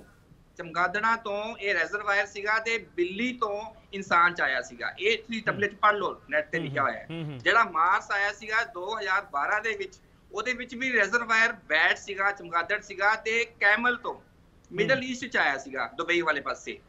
ਤੇ ਇਹ ਕਰੋਨਾ ਵਾਇਰਸ ਹੀ ਸੀਗਾ। ਇਹ ਕਰੋਨਾ ਮੈਂ ਤਾਂ ਦੱਸ ਦਿੰਦਾ ਕਰੋਨਾ ਦਾ ਮਤਲਬ ਕੀ ਹੁੰਦਾ ਹੈ? ਲੈਟਿਨ ਵਰਡ ਹੈ ਕਰੋਨਾ ਕਰੋਨਾ ਮੀਨਸ ਕਿ ਕਰਾਊਨ ਰਾਜੇ ਦੇ ਤਾਜ ਵਾਂਗੂ ਹੁੰਦਾ ਹੈ ਇਹਦੀ ਸ਼ਕਲ ਗੋਲ ਹੁੰਦੀ ਹੈ ਤੇ ਹੀਰੇ ਲੱਗੇ ਹੁੰਦੇ। ਆ। ਉਸ ਤਰੀਕੇ ਦੀ ਤੁਸੀਂ ਫੋਟੋ ਦੇਖਦੇ ਹੋਗੇ ਟੀਵੀ ਦੇ ਵਿੱਚ। ਇਹ ਜਿਹੜਾ ਕਰੋਨਾ ਪਹਿਲੇ ਦੋ ਵਾਰੀ ਜੋਨੋਟਿਕ ਹੋ ਚੁੱਕਿਆ ਹੈ ਉਹ WHO ਨੇ ਬੋਲਿਆ ਹੋਇਆ ਹੈ ਇਹ ਤੀਜੀ ਵਾਰੀ ਜੋਨੋਟਿਕ ਹੋਇਆ ਹੈ ਇਹਦਾ ਵਾਇਰਸ ਦੀ ਰੈਪਲੀਕੇਸ਼ਨ ਉਨ ਦੋ ਦੋਨਾਂ ਤੋਂ ਅਲੱਗ ਹੈ। ਇਹਨੂੰ ਅਸੀਂ ਬੋਲ ਰਹੇ ਹਾਂ SARS-2 CoV ਤੇ ਇਹ WHO ਨੇ ਨਵਾਂ ਨਾਮ ਦਿੱਤਾ ਹੈ ਪਹਿਲੇ ਕੋਵਿਡ-19 ਵੀ ਦਿੱਤਾ ਸੀਗਾ। ਤੇ ਹੁਣ ਮੈਂ ਕਹਿੰਦਾ ਮਤਲਬ ਇਹ ਹੈ ਕਿ ਇਹ ਚੀਜ਼ਾਂ ਤਾਂ ਨੋਨ ਹੈ ਹੀ ਮੈਂ ਨਹੀਂ ਬੋਲ ਰਿਹਾ। ਇਹ ਨੋਨ ਹੈ ਅਸੀਂ ਪੜ੍ਹ ਰਹੇ ਹਾਂ ਕਿਤਾਬਾਂ ਦੇ ਵਿੱਚ। ਹੈਰਿਸਨ ਦੀ ਬੁੱਕ ਹੈਗੀ ਹੈ ਡਾਕਟਰ ਜਿਹੜੇ ਪੜ੍ਹਦੇ ਨੇ ਉਹਦੇ ਵਿੱਚ ਕਰੋਨਾ ਲਿਖਿਆ ਹੋਇਆ ਹੈ ਦੋ ਟਾਈਮ ਸਾਰਸ ਤੇ ਮਾਰਸ ਲਿਖਿਆ ਹੋਇਆ ਹੁਣ ਨਵੀਂ ਐਡੀਸ਼ਨ ਹੋ ਜਾਏਗੀ ਜਿਹੜੀ ਕੋਵਿਡ-19 ਦੀ। ਹੂੰ ਹੂੰ। ਇਹ ਮੈਂ ਨਹੀਂ ਕਹਿ ਰਿਹਾ ਅਸੀਂ ਅਸੀਂ ਡਾਕਟਰੀ ਪੜ੍ਹਦੇ ਹੋਏ ਚੀਜ਼ਾਂ ਪੜ੍ਹੀਆਂ ਹੋਈਆਂ ਨੇ ਤੁਸੀਂ ਨੈਟ ਵੀ ਦੇਖ ਸਕਦੇ ਹੋ। ਡਾਕਟਰ ਸਾਹਿਬ ਮੈਂ ਆਪਣੇ ਸਵਾਲ ਤੇ ਫੇਰ ਵਾਪਸ ਆ ਰਿਹਾ। ਮੈਂ ਇਸ ਨੂੰ ਪੋਲਿਟੀਕਲੀ ਨਹੀਂ ਸਮਝ ਰਿਹਾ। ਸਾਇੰਸ ਦੇ ਜਿਹੜੇ ਸਟੂਡੈਂਟ ਹੋਣਗੇ ਉਹਨਾਂ ਦੇ ਨਜ਼ਰੀਏ ਨਾਲ ਦੇਖੀਏ ਮੈਨ ਮੇਡ ਵਾਇਰਸ ਹੋ ਸਕਦਾ ਹੈ। ਅਸੀਂ ਫਿਲਮਾਂ ਇਸ ਤਾਂ ਦੇਖਿਆ ਸੀਗਾ ਬਈ ਲੈਬ ਦੇ ਵਿੱਚ ਜਿਹੜਾ ਹੈਗਾ ਹਾਲੀਵੁੱਡ ਦੀਆਂ ਕਈ ਫਿਲਮਾਂ ਨੇ ਇਸ ਤਰ੍ਹਾਂ ਦੀਆਂ ਜਿਹੜੀ ਦਿਖਾਉਂਦੀਆਂ ਨੇ ਕਿ ਲੈਬ ਦੇ ਵਿੱਚ। ਕੁਝ ਕ੍ਰੀਏਟ ਕੀਤਾ ਔਰ ਉਸ ਨੂੰ ਸੁਸਾਇਟੀ ਜਿਹੜਾ ਹੈਗਾ ਛੱਡ ਦਿੱਤਾ ਉੱਥੇ ਪੂਰੇ ਪੂਰੇ ਉਸਨੇ ਖਤਮ ਕਰਤਾ ਚੀਜ਼ਾਂ ਨੂੰ। Man made virus real life ਵਿੱਚ ਹੋ ਸਕਦਾ ਹੈ? ਰੀਅਲ ਲਾਈਫ ਵਿੱਚ ਤਾਂ ਅਸੀਂ ਦੇਖਿਆ ਦਿਖਾ ਦਿੰਦੇ ਆ। ਰੀਅਲ ਲਾਈਫ ਵਿੱਚ ਹੋ ਸਕਦਾ ਹੈ? ਬਿਲਕੁਲ ਹੋ ਸਕਦਾ ਹੈ। ਮੇਰੀ wife PhD in organic chemistry medicinal chemistry ਹੈਗੀ ਹੈ। ਉਹਨਾਂ ਮੈਂ ਗੱਲ ਕਰ ਰਿਹਾ ਸੀਗਾ ਤੇ ਉਹ ਕਹਿ ਰਹੀ ਸੀ ਕਿ ਇਹ ਐਕਸਪੈਰੀਮੈਂਟ ਕਰਨ ਲਈ ਇਹ ਨਕਲੀ ਵਾਇਰਸ ਵੀ ਲੈਬ 'ਚ ਬਣ ਸਕਦਾ ਹੈ ਜਿਹਦੇ ਵਿੱਚ ਕੋਈ ਡੀਐਨਏ ਆਰਐਨਏ ਹੈ ਹੀ ਨਹੀਂ। ਮਤਲਬ ਨੁਕਸਾਨ ਨਹੀਂ ਕਰੇਗਾ ਉਹ। ਜਸਟ ਟੂ ਸਟੱਡੀ ਉਹਦੀ ਮੈਂ ਕਹਿ ਰਿਹਾ ਸੀਗਾ ਟੈਂਪਰੇਚਰ ਦੇ ਨਾਲ ਮਰੇਗਾ। ਉਹਦੀ ਸੈੱਲ ਵਾਲ ਦੀ ਜਿਹੜੀ ਸਟੱਡੀ ਕਰਨ ਵਾਸਤੇ ਕਿ ਉਹ ਸੈੱਲ ਵਾਲ ਕਿਸ ਟੈਂਪਰੇਚਰ ਤੇ ਜਾ ਕੇ ਸੜਦੀ ਹੈ ਜਾਂ ਡੀਨੇਚਰਡ ਹੁੰਦੀ ਹੂੰ। ਉਹ ਇੱਕ ਵਾਇਰਸ ਨਕਲੀ ਬਿਨਾ ਆਰਐਨਏ ਤੋਂ ਬਣ ਸਕਦਾ ਹੈ। ਜਦ ਬਿਨਾ ਆਰਐਨਏ ਤੋਂ ਬਣ ਸਕਦਾ ਹੈ ਜਿਹੜੇ ਸ਼ੈਤਾਨ ਤੱਤਵ ਨੇ ਉਹ ਉਹਦੇ ਵਿੱਚ ਆਰਐਨਏ ਕਿਸੇ ਵੀ ਤਰੀਕੇ ਦਾ ਪਾ ਕੇ ਕਿਸੇ ਵੀ ਤਰੀਕੇ ਦਾ ਵਾਇਰਸ ਬਣਾ ਸਕਦੇ ਨੇ। ਬਾਇਓਲੋਜੀਕਲ ਵੈਪਨ ਉਹਨੂੰ ਹੀ ਕਹਿੰਦੇ ਆ। ਚਲੋ ਡਾਕਟਰ ਸਾਹਿਬ ਆਪਾਂ ਥੋੜਾ ਜਿਹਾ ਟੈਨਸ਼ਨ 'ਚ ਜ਼ਿਆਦਾ ਪੈ ਗਏ ਹਾਂ। ਆਪਾਂ ਟੈਨਸ਼ਨ ਤੋਂ ਥੋੜਾ ਜਿਹਾ ਦੂਰ ਹੋਈਏ। ਹਾਂਜੀ ਹਾਂਜੀ। ਡਾਕਟਰ ਸਾਹਿਬ ਸਵਾਲ ਇਹ ਹੈਗਾ ਕਿ ਅਸੀਂ ਹੁਣ ਜ਼ਿਆਦਾ ਸਕਰੀਨ ਤੇ ਰਹਿਣ ਲੱਗ ਪਏ। Mobile screen TV screen laptop screen ਉਸ ਸਕਰੀਨ ਦੇ ਅਸੀਂ ਹੈਪਚੁਅਲ ਤਾਂ ਨਹੀਂ ਹੋ ਜਾਾਂਗੇ। ਇੱਕ ਸਵਾਲ ਇਹ। ਦੂਜਾ ਸਵਾਲ ਮੇਰਾ ਨਾਲ ਇਹ ਹੈਗਾ ਕਿ ਘਰੇ ਬੈਠਿਆਂ ਅਸੀਂ ਜ਼ਿਆਦਾ ਖਾਣ ਵੀ ਲੱਗ ਪਵਾਂਗੇ। ਹਾਂ। ਬਿਨਾਂ ਸੰਕੋਚ ਕੀਤੇ ਕਿਉਂਕਿ ਉੱਥੇ ਜ਼ਿੰਮੇਵਾਰੀ ਹੈ ਜਿਹੜੀ ਘਰ ਦੇ ਬਾਕੀ ਮੈਂਬਰਾਂ ਦੀ ਵੱਧ ਵੱਧ ਰਹੀ ਹੈ। ਜਦੋਂ ਬਿਨਾਂ ਸੋਚੇ ਸਮਝੇ ਅਸੀਂ ਖਾਂਦੇ ਆ ਕਿ ਉਹਦੇ ਨਾਲ ਸਾਡੀ ਬਾਡੀ ਤੇ ਜਿਹੜਾ ਅਸਰ ਹੋਣ ਵਾਲਾ ਕਿ ਅਸੀਂ ਹੋਰ ਬਿਮਾਰੀਆਂ ਨੂੰ ਵਾਜਾ ਤਾਂ ਨਹੀਂ ਮਾਰ ਰਹੇ, ਅਸੀਂ ਕਰੋਨਾ ਤੋਂ ਤਾਂ ਬਚ ਜਾਵਾਂਗੇ ਸ਼ਾਇਦ। ਬਿਲਕੁਲ ਬਿਲਕੁਲ। ਦੇਖੋ, ਦੋਨੋਂ ਸਵਾਲ ਬਹੁਤ ਸਹੀ ਨੇ। ਜਿਹੜੀਆਂ ਦੇਖੋ, ਇਹ ਆਪਾਂ ਹੁਣ ਜਿਹੜੀਆਂ ਟੈਨਸ਼ਨਾਂ ਤਾਂ ਮੈਂ ਟੈਕਨੀਕਲੀ ਸੁਣਾਉਂਦਾ ਹਾਂ, ਅਗਰ ਕੋਈ ਮੈਡੀਕਲ ਲਾਈਨ ਦਾ ਬੰਦਾ ਹੈਗਾ, ਉਹ ਸਮਝ ਸਕਦਾ ਹੈ। ਕਿ ਜਿਹੜਾ ਕੋਰਟੀਸੋਲ ਨਿਕਲਦਾ ਹੈ ਉਹਦੇ ਨਾਲ ਇਨਸੂਲਿਨ ਰੈਜ਼ਿਸਟੈਂਸ ਹੁੰਦੀ ਹੈ। ਇਨਸੂਲਿਨ ਰੈਜ਼ਿਸਟੈਂਸ ਆਈ ਆਰ ਤੁਸੀਂ ਪੜ ਸਕਦੇ ਗੂਗਲ ਦੇ ਵਿੱਚ। ਇਨਸੂਲਿਨ ਰੈਜ਼ਿਸਟੈਂਸ ਉਹ ਚੀਜ਼ ਹੈਗੀ ਹੈ ਜਿਹਦੇ ਵਿੱਚ ਸਾਡੀ ਇਨਸੂਲਿਨ ਕੰਮ ਕਰਨਾ ਘਟ ਜਾਂਦੀ ਹੈ ਤੇ ਬੰਦਾ ਮੋਟਾ ਹੋ ਜਾਂਦਾ ਹੈ। ਤੁਸੀਂ ਦੇਖਿਆ ਹੋਣਾ ਜਿਹੜਾ ਬੰਦਾ ਟੈਨਸ਼ਨ 'ਚ ਹੁੰਦਾ ਹੈ ਜਾਂ ਕੋਈ ਟੈਨਸ਼ਨ ਵਾਲੀਆਂ ਦਵਾਈਆਂ ਖਾਂਦਾ ਹੈ ਡਿਪਰੈਸ਼ਨ ਦਵਾਈਆਂ ਖਾਂਦਾ ਹੈ ਉਹਦਾ ਸਾਈਡ ਇਫੈਕਟ ਬੰਦਾ ਮੋਟਾ ਹੋ ਜਾਂਦਾ ਤੇ ਜਿਹੜਾ ਮੋਟਾਪਾ ਹੈਗਾ ਫੈਟ ਕਮੂਲੇਸ਼ਨ ਸਰੀਰ ਦੇ ਵਿੱਚ ਫੈਟ ਆਣਾ ਇਹ ਇੱਕ ਡਿਪਰੈਸ਼ਨ ਦੀ ਬਹੁਤ ਵੱਡੀ ਨਿਸ਼ਾਨੀ ਹੈ। ਇਹਦਾ ਕਾਰਨ ਕੀ ਹੈ ਕਿ ਜਿਹੜਾ ਸਾਡਾ ਇਨਸੂਲਿਨ ਨਿਕਲਦਾ ਹੈ ਬਾਡੀ ਦੇ ਵਿੱਚੋਂ ਦੀ ਉਹ ਕੰਮ ਹੀ ਨਹੀਂ ਕਰਦਾ। ਇਨਸੂਲਿਨ ਰੈਜ਼ਿਸਟੈਂਟ ਹੋ ਜਾਂਦਾ ਹੈ। ਸਾਡੀ ਇਨਸੂਲਿਨ ਜ਼ਿਆਦਾ ਨਿਕਲਣੀ ਸ਼ੁਰੂ ਹੋ ਜਾਂਦੀ ਹੈ। ਜਿਹੜੀ ਇਨਸੂਲਿਨ ਜਿਹੜੀ ਹੈਗੀ ਹੈ ਉਹ ਇੱਕ ਐਨਾਬੋਲਿਕ ਸਟੀਰੋਇਡ ਹੈ। ਮੈਂ ਹੁਣ ਮੈਡੀਕਲ ਟਰਮ ਯੂਜ਼ ਕਰ ਰਿਹਾ। ਐਨਾਬੋਲਿਕ ਸਟੀਰੋਇਡ ਹੈ। ਉਹ ਇੱਕ ਮਸਲ ਬਿਲਡ ਕਰਦੀ ਹੈ। ਮਸਲ ਤਾਂ ਉੱਥੇ ਮਿਲਦਾ ਨਹੀਂ। ਪ੍ਰੋਟੀਨ ਤਾਂ ਹੈ ਨਹੀਂ। ਰੋਟੀ ਅਸੀਂ ਖਾ ਰਹੇ ਹਾਂ ਦੱਬ ਕੇ। ਆਪਾਂ ਕਾਰਬਸ ਖਾ ਰਹੇ ਹਾਂ ਤੇ ਉਹਦਾ ਫੈਟ ਬਣਨਾ ਸ਼ੁਰੂ ਹੋ ਜਾਂਦਾ ਹੈ। ਤੇ ਟੈਨਸ਼ਨ ਦੇ ਨਾਲ ਵੀ ਤੇ ਜ਼ਿਆਦਾ ਕਾਰਬਸ ਖਾਣ ਦੇ ਨਾਲ ਵੀ ਤੇ ਵਿਹਲੇ ਰਹਿ ਕੇ ਬਾਰ-ਬਾਰ ਰੋਟੀ ਖਾਣ ਦੇ ਨਾਲ ਵੀ ਬੋਡੀ ਦਾ weight ਵਧੇਗਾ ਬੋਡੀ ਦਾ weight ਵਧੇਗਾ ਤੇ 100 ਪ੍ਰੋਬਲਮਾਂ ਹੋ ਜਾਣਗੀਆਂ ਆਰਟੀਰੀਓਸਕਲੇਰੋਸਿਸ ਹਾਰਟ ਦੀ ਪ੍ਰੋਬਲਮ ਓਬਿਸਟੀ ਦਾ ਹੋਇਆ ਗੋਡੇ ਗੋਡਿਆਂ ਦੀ ਪ੍ਰੋਬਲਮ ਆ ਜਾਏਗੀ ਤੇ ਇਹ ਚੀਜ਼ਾਂ ਸਾਡੀਆਂ ਗਲਤ ਹੋ ਸਕਦੀਆਂ ਨੇ ਹੋ ਸਕਦੀਆਂ ਤੇ ਤੁਸੀਂ ਸਰ ਸਪੋਰਟਸ ਰੀਹੈਬਿਲਿਟੇਸ਼ਨ ਬਾਰੇ ਵੀ ਅ, ਪੜ੍ਹਿਆ ਹੋਇਆ। ਹਾਂ- ਤੇ ਮੈਂ। ਉਸ ਬਾਰੇ ਵੀ ਤੁਹਾਨੂੰ ਸਵਾਲ ਜ਼ਰੂਰ ਕਰਨਾ ਚਾਹੁੰਦਾ ਹੁਣ ਆਊਟਡੋਰ ਗੇਮਸ ਟੋਟਲੀ ਬੰਦ ਹੈ। ਅਸੀਂ ਬਾਹਰ ਕਿਤੇ ਖੇਡ ਨਹੀਂ ਸਕਦੇ ਕਿ। ਇਨਡੋਰ ਗੇਮਸ ਦੇ ਵਿੱਚ ਸਾਡੇ ਕੋਲੇ ਬਹੁਤ ਘੱਟ ਆਪਸ਼ਨਸ ਹੈ ਡਾਕਟਰ ਸਾਹਿਬ। ਹਾਂਜੀ ਹਾਂਜੀ। ਜਦੋਂ ਸਾਡੇ ਕੋਲੇ ਘੱਟ ਆਪਸ਼ਨ ਹੈ ਫਿਰ ਅਸੀਂ ਫਿਜ਼ੀਕਲ ਐਕਸਰਸਾਈਜ਼ ਅਸੀਂ ਆਪਦੇ ਆਪ ਨੂੰ ਤੰਦਰੁਸਤ ਕਿਵੇਂ ਰੱਖੀਏ? ਕਿਉਂਕਿ ਸਾਡੇ ਸਾਹਮਣੇ ਵਾਰ-ਵਾਰ ਇੱਕੋ ਸ਼ਬਦ ਘੁੰਮਦਾ ਟੀਵੀ ਮੋਬਾਈਲ। ਇਸ ਤੋਂ ਇਲਾਵਾ ਸਾਡੇ ਅੱਗੇ ਕੋਈ ਹੋਰ ਸ਼ਬਦ ਨਹੀਂ ਘੁੰਮਦਾ ਪਿਆ। ਦੇਖੋ ਇਨਡੋਰ ਜਿਹੜੀਆਂ ਚੀਜ਼ਾਂ ਹੁੰਦੀਆਂ ਨੇ ਸਕਿਪਿੰਗ ਹੋ ਗਈ ਜੰਪਿੰਗ ਹੋ ਗਈ ਮੈਂ ਇੱਕ ਸਿੰਪਲ ਤੁਹਾਨੂੰ ਦੱਸਾਂਗਾ ਕਿ ਕੋਈ ਵੀ ਬੰਦਾ ਜਿੰਨਾ ਉਹ ਮੈਕਸਿਮਮ ਭਾਰ ਚੱਕ ਸਕਦਾ ਹੈ ਜਿਸ ਤਰ੍ਹਾਂ ਕੋਈ ਵੀ ਬੰਦਾ ਅਗਰ 20 25 ਕਿਲੋ ਭਾਰ ਚੱਕ ਸਕਦਾ ਹੈ। ਉਹ ਘੱਟ ਤੋਂ ਘੱਟ ਦਿਨ ਦੇ ਵਿੱਚ 20 25 ਕਿਲੋ ਦਾ ਘਰ ਦੇ ਵਿੱਚ ਕੋਈ ਵੀ ਸਮਾਨ ਇੱਕ ਦੋ ਵਾਰ ਚੱਕ ਲੇ। ਉਹਦੇ ਨਾਲ ਕੀ ਹੋਏਗਾ? ਉਹਦੇ ਨਾਲ ਬੋਡੀ ਦੀ ਸਰਕੂਲੇਸ਼ਨ ਵਧੇਗੀ। ਸਾਡੀ ਬੋਡੀ ਦੀ ਜਿਹੜੀ ਸਰਕੂਲੇਸ਼ਨ ਹੈਗੀ ਹੈ ਨਾ ਉਹ ਘਟ ਜਾ ਘਟ ਰਹੀ ਹੈ ਇਸ ਟਾਈਮ ਅਸੀਂ ਆਪਣੀ ਫਿਜ਼ੀਕਲ ਐਕਟੀਵਿਟੀ ਤਾਂ ਹੈ ਹੀ ਨਹੀਂ। ਹੁਣ ਘਰ ਦੇ ਵਿੱਚ ਸਕਿਪਿੰਗ ਕਰ ਸਕਦੇ ਹਾਂ ਅਸੀਂ ਹੋਰ ਇਨਡੋਰ ਗੇਮਸ ਜਿਹੜੀਆਂ ਫਿਜ਼ੀਕਲ ਹੁੰਦੀਆਂ ਨੇ ਉਹ ਆਪਾਂ ਖੇਡ ਸਕਦੇ ਹਾਂ। ਤੇ ਮਿਨੀਮਮ ਚੀਜ਼ਾਂ ਹੈਗੀਆਂ ਕਿ ਆਪਾਂ ਜੰਪਿੰਗ ਪੀਟੀ ਸਾ ਸਕੂਲ ਚ ਪੀਟੀ ਕਰਦੇ ਸੀਗੇ ਇਹ ਥੋੜਾ ਬਹੁਤ ਸਟ੍ਰੈਚਿੰਗ ਹੋ ਗਈ ਸਿੰਪਲ ਬੈਠ ਕੇ ਯੋਗਾ ਹੋ ਗਿਆ। ਇਹ ਕਈ ਚੀਜ਼ਾਂ ਹੈਗੀਆਂ ਜਿਹੜੀ ਆਪਾਂ ਕਰ ਸਕਦੇ ਹਾਂ ਜਿਸ ਨਾਲ ਅਸੀਂ ਬੋਡੀ ਦੀ ਕੈਲਰੀ ਬਰਨ ਕਰ ਸਕਦੇ ਹਾਂ। ਆਪਾਂ ਕੈਲਰੀ। ਬਰਨ ਕਰਨੀ ਹੈ। ਖੜੇ ਖੜੇ ਟੱਪੀ ਜਾਓ। ਬੜਾ ਔਖਾ ਕੰਮ ਹੈ ਇਹ ਵਾਲਾ। ਤੁਸੀਂ 2 ਮਿੰਟ ਨਹੀਂ ਕਰ ਸਕਦੇ। ਫਿਰ ਕਰਕੇ ਦੇਖੋ ਇਹ ਐਰੋਬਿਕ ਐਕਸਰਸਾਈਜ਼ ਹੈਗੀ ਹੈ ਸਕਿਪਿੰਗ ਹੈਗੀ ਹੈ ਤੁਸੀਂ 2 ਮਿੰਟ ਨਹੀਂ ਕਰ ਸਕਦੇ। ਸਾਹ ਚੜ ਜਾਏਗਾ। ਆਪਾਂ ਸਾਹ ਚੜਾਣਾ ਹੈ। ਬੋਡੀ ਨੂੰ ਆਪਾਂ ਸਰਕੂਲੇਸ਼ਨ ਵਧਾਣੀ ਹੈ ਤਾਂ ਕਿ ਸਰਕੂਲੇਸ਼ਨ ਚੱਲੇ ਤੇ ਬੋਡੀ ਫਿਟ ਰਵੇ ਬਿਲਕੁਲ ਬੋਡੀ ਫਿਟ ਰਵੇ ਤੇ ਇਸ ਦੇ ਲਈ ਕੋਸ਼ਿਸ਼ਾਂ ਕਰਨੀਆਂ ਨੇ, ਪਰ ਸਵਾਲ ਕਈ ਸਾਰੇ ਉਹ ਵੀ ਨੇ, ਜਿਹੜੇ ਸਾਡੇ ਵਰਗਾ ਸਾਡਾ ਭਾਈਚਾਰਾ ਜਿਹੜਾ ਹੈਗਾ, ਉਸ ਦੇ ਬਾਰੇ ਵੀ ਅਸੀਂ ਪੁੱਛਾਂਗੇ। ਜਦੋਂ ਅਸੀਂ ਸਕਰੀਨ ਤੇ ਆਨੇ ਆ ਅਸੀਂ ਤਾਂ ਨਹੀਂ ਲੋਕਾਂ ਨੂੰ ਡਿਪਰੈਸ਼ਨ ਦੇ ਰਹੇ, ਅਸੀਂ ਤਾਂ ਨਹੀਂ ਲੋਕਾਂ ਨੂੰ ਟੈਨਸ਼ਨ ਦੇ ਰਹੇ, ਇਸ ਨੂੰ ਕਿਵੇਂ ਯਕੀਨੀ ਬਣਾਵਾਂਗੇ? ਛੋਟੇ ਜਿਹੇ ਬ੍ਰੇਕ ਤੋਂ ਬਾਅਦ ਇਹ ਸਵਾਲ ਪੁੱਛਾਂਗੇ ਜ਼ਰੂਰ। ਸਵਾਲ ਇਸੇ ਰਹੇ, ਅਸੀਂ ਪੁੱਛ ਰਹੇ ਹਾਂ, ਤੁਹਾਡੇ ਕੋਲੇ ਤੁਹਾਡੇ ਅੱਗੇ ਸਵਾਲ ਰੱਖ ਰਹੇ ਕਰੋਨਾ ਵਾਇਰਸ ਦੇ ਨਾਂ ਤੇ ਟੈਨਸ਼ਨ ਤੁਸੀਂ ਕਿਉਂ ਲੈ ਰਹੇ ਹੋ? ਇਸੇ ਟੈਨਸ਼ਨ ਦਾ ਹੱਲ ਲੱਭਣ ਦੇ ਲਈ ਡਾਕਟਰ ਸਾਹਿਬ ਸਾਡੇ ਨਾਲ ਮੌਜੂਦ ਹੈ ਕੀ ਹੈ ਡਾਕਟਰ ਸੰਤੋਖ ਸਿੰਘ ਜੀ ਇੱਕ ਮੈਂ ਦਰਸ਼ਕਾਂ ਨੂੰ ਪਹਿਲਾਂ ਜਾਣਕਾਰੀ ਦੇ ਦੇਵਾਂ ਕਿ ਜਿਹੜੇ ਗ੍ਰਾਫਿਕਸ ਇਨਪੁਟ ਸਾਰੀ ਚੱਲਦੀ ਵੀ ਤੁਹਾਡੀ ਸਕਰੀਨ ਤੇ, ਇਹਨੂੰ ਜ਼ਰੂਰ ਧਿਆਨ ਨਾਲ ਪੜੋ ਤੇ ਇਨ ਤੇ ਵਿਚਾਰ ਵੀ ਕਰੋ। ਵੈਸੇ ਕੁਝ ਗੱਲਾਂ ਅਸੀਂ ਉਹਦੇ ਵਿੱਚੋਂ ਡਾਕਟਰ ਸਾਹਿਬ ਤੋਂ ਪੁੱਛ ਵੀ ਰਹੇ ਹਾਂ। ਡਾਕਟਰ ਸਾਹਿਬ ਗਗਨ ਨੇ ਇੱਕ ਸਵਾਲ ਛੱਡਿਆ ਸੀ ਤੁਹਾਡੇ ਦੇ ਲਈ। ਤੁਹਾਡੇ ਲਈ ਇਹ ਸਵਾਲ ਛੱਡਿਆ ਸੀ ਕਿ ਸਾਡਾ ਭਾਈਚਾਰਾ ਟੈਨਸ਼ਨ ਤਾਂ ਨਹੀਂ ਦੇ ਰਿਹਾ।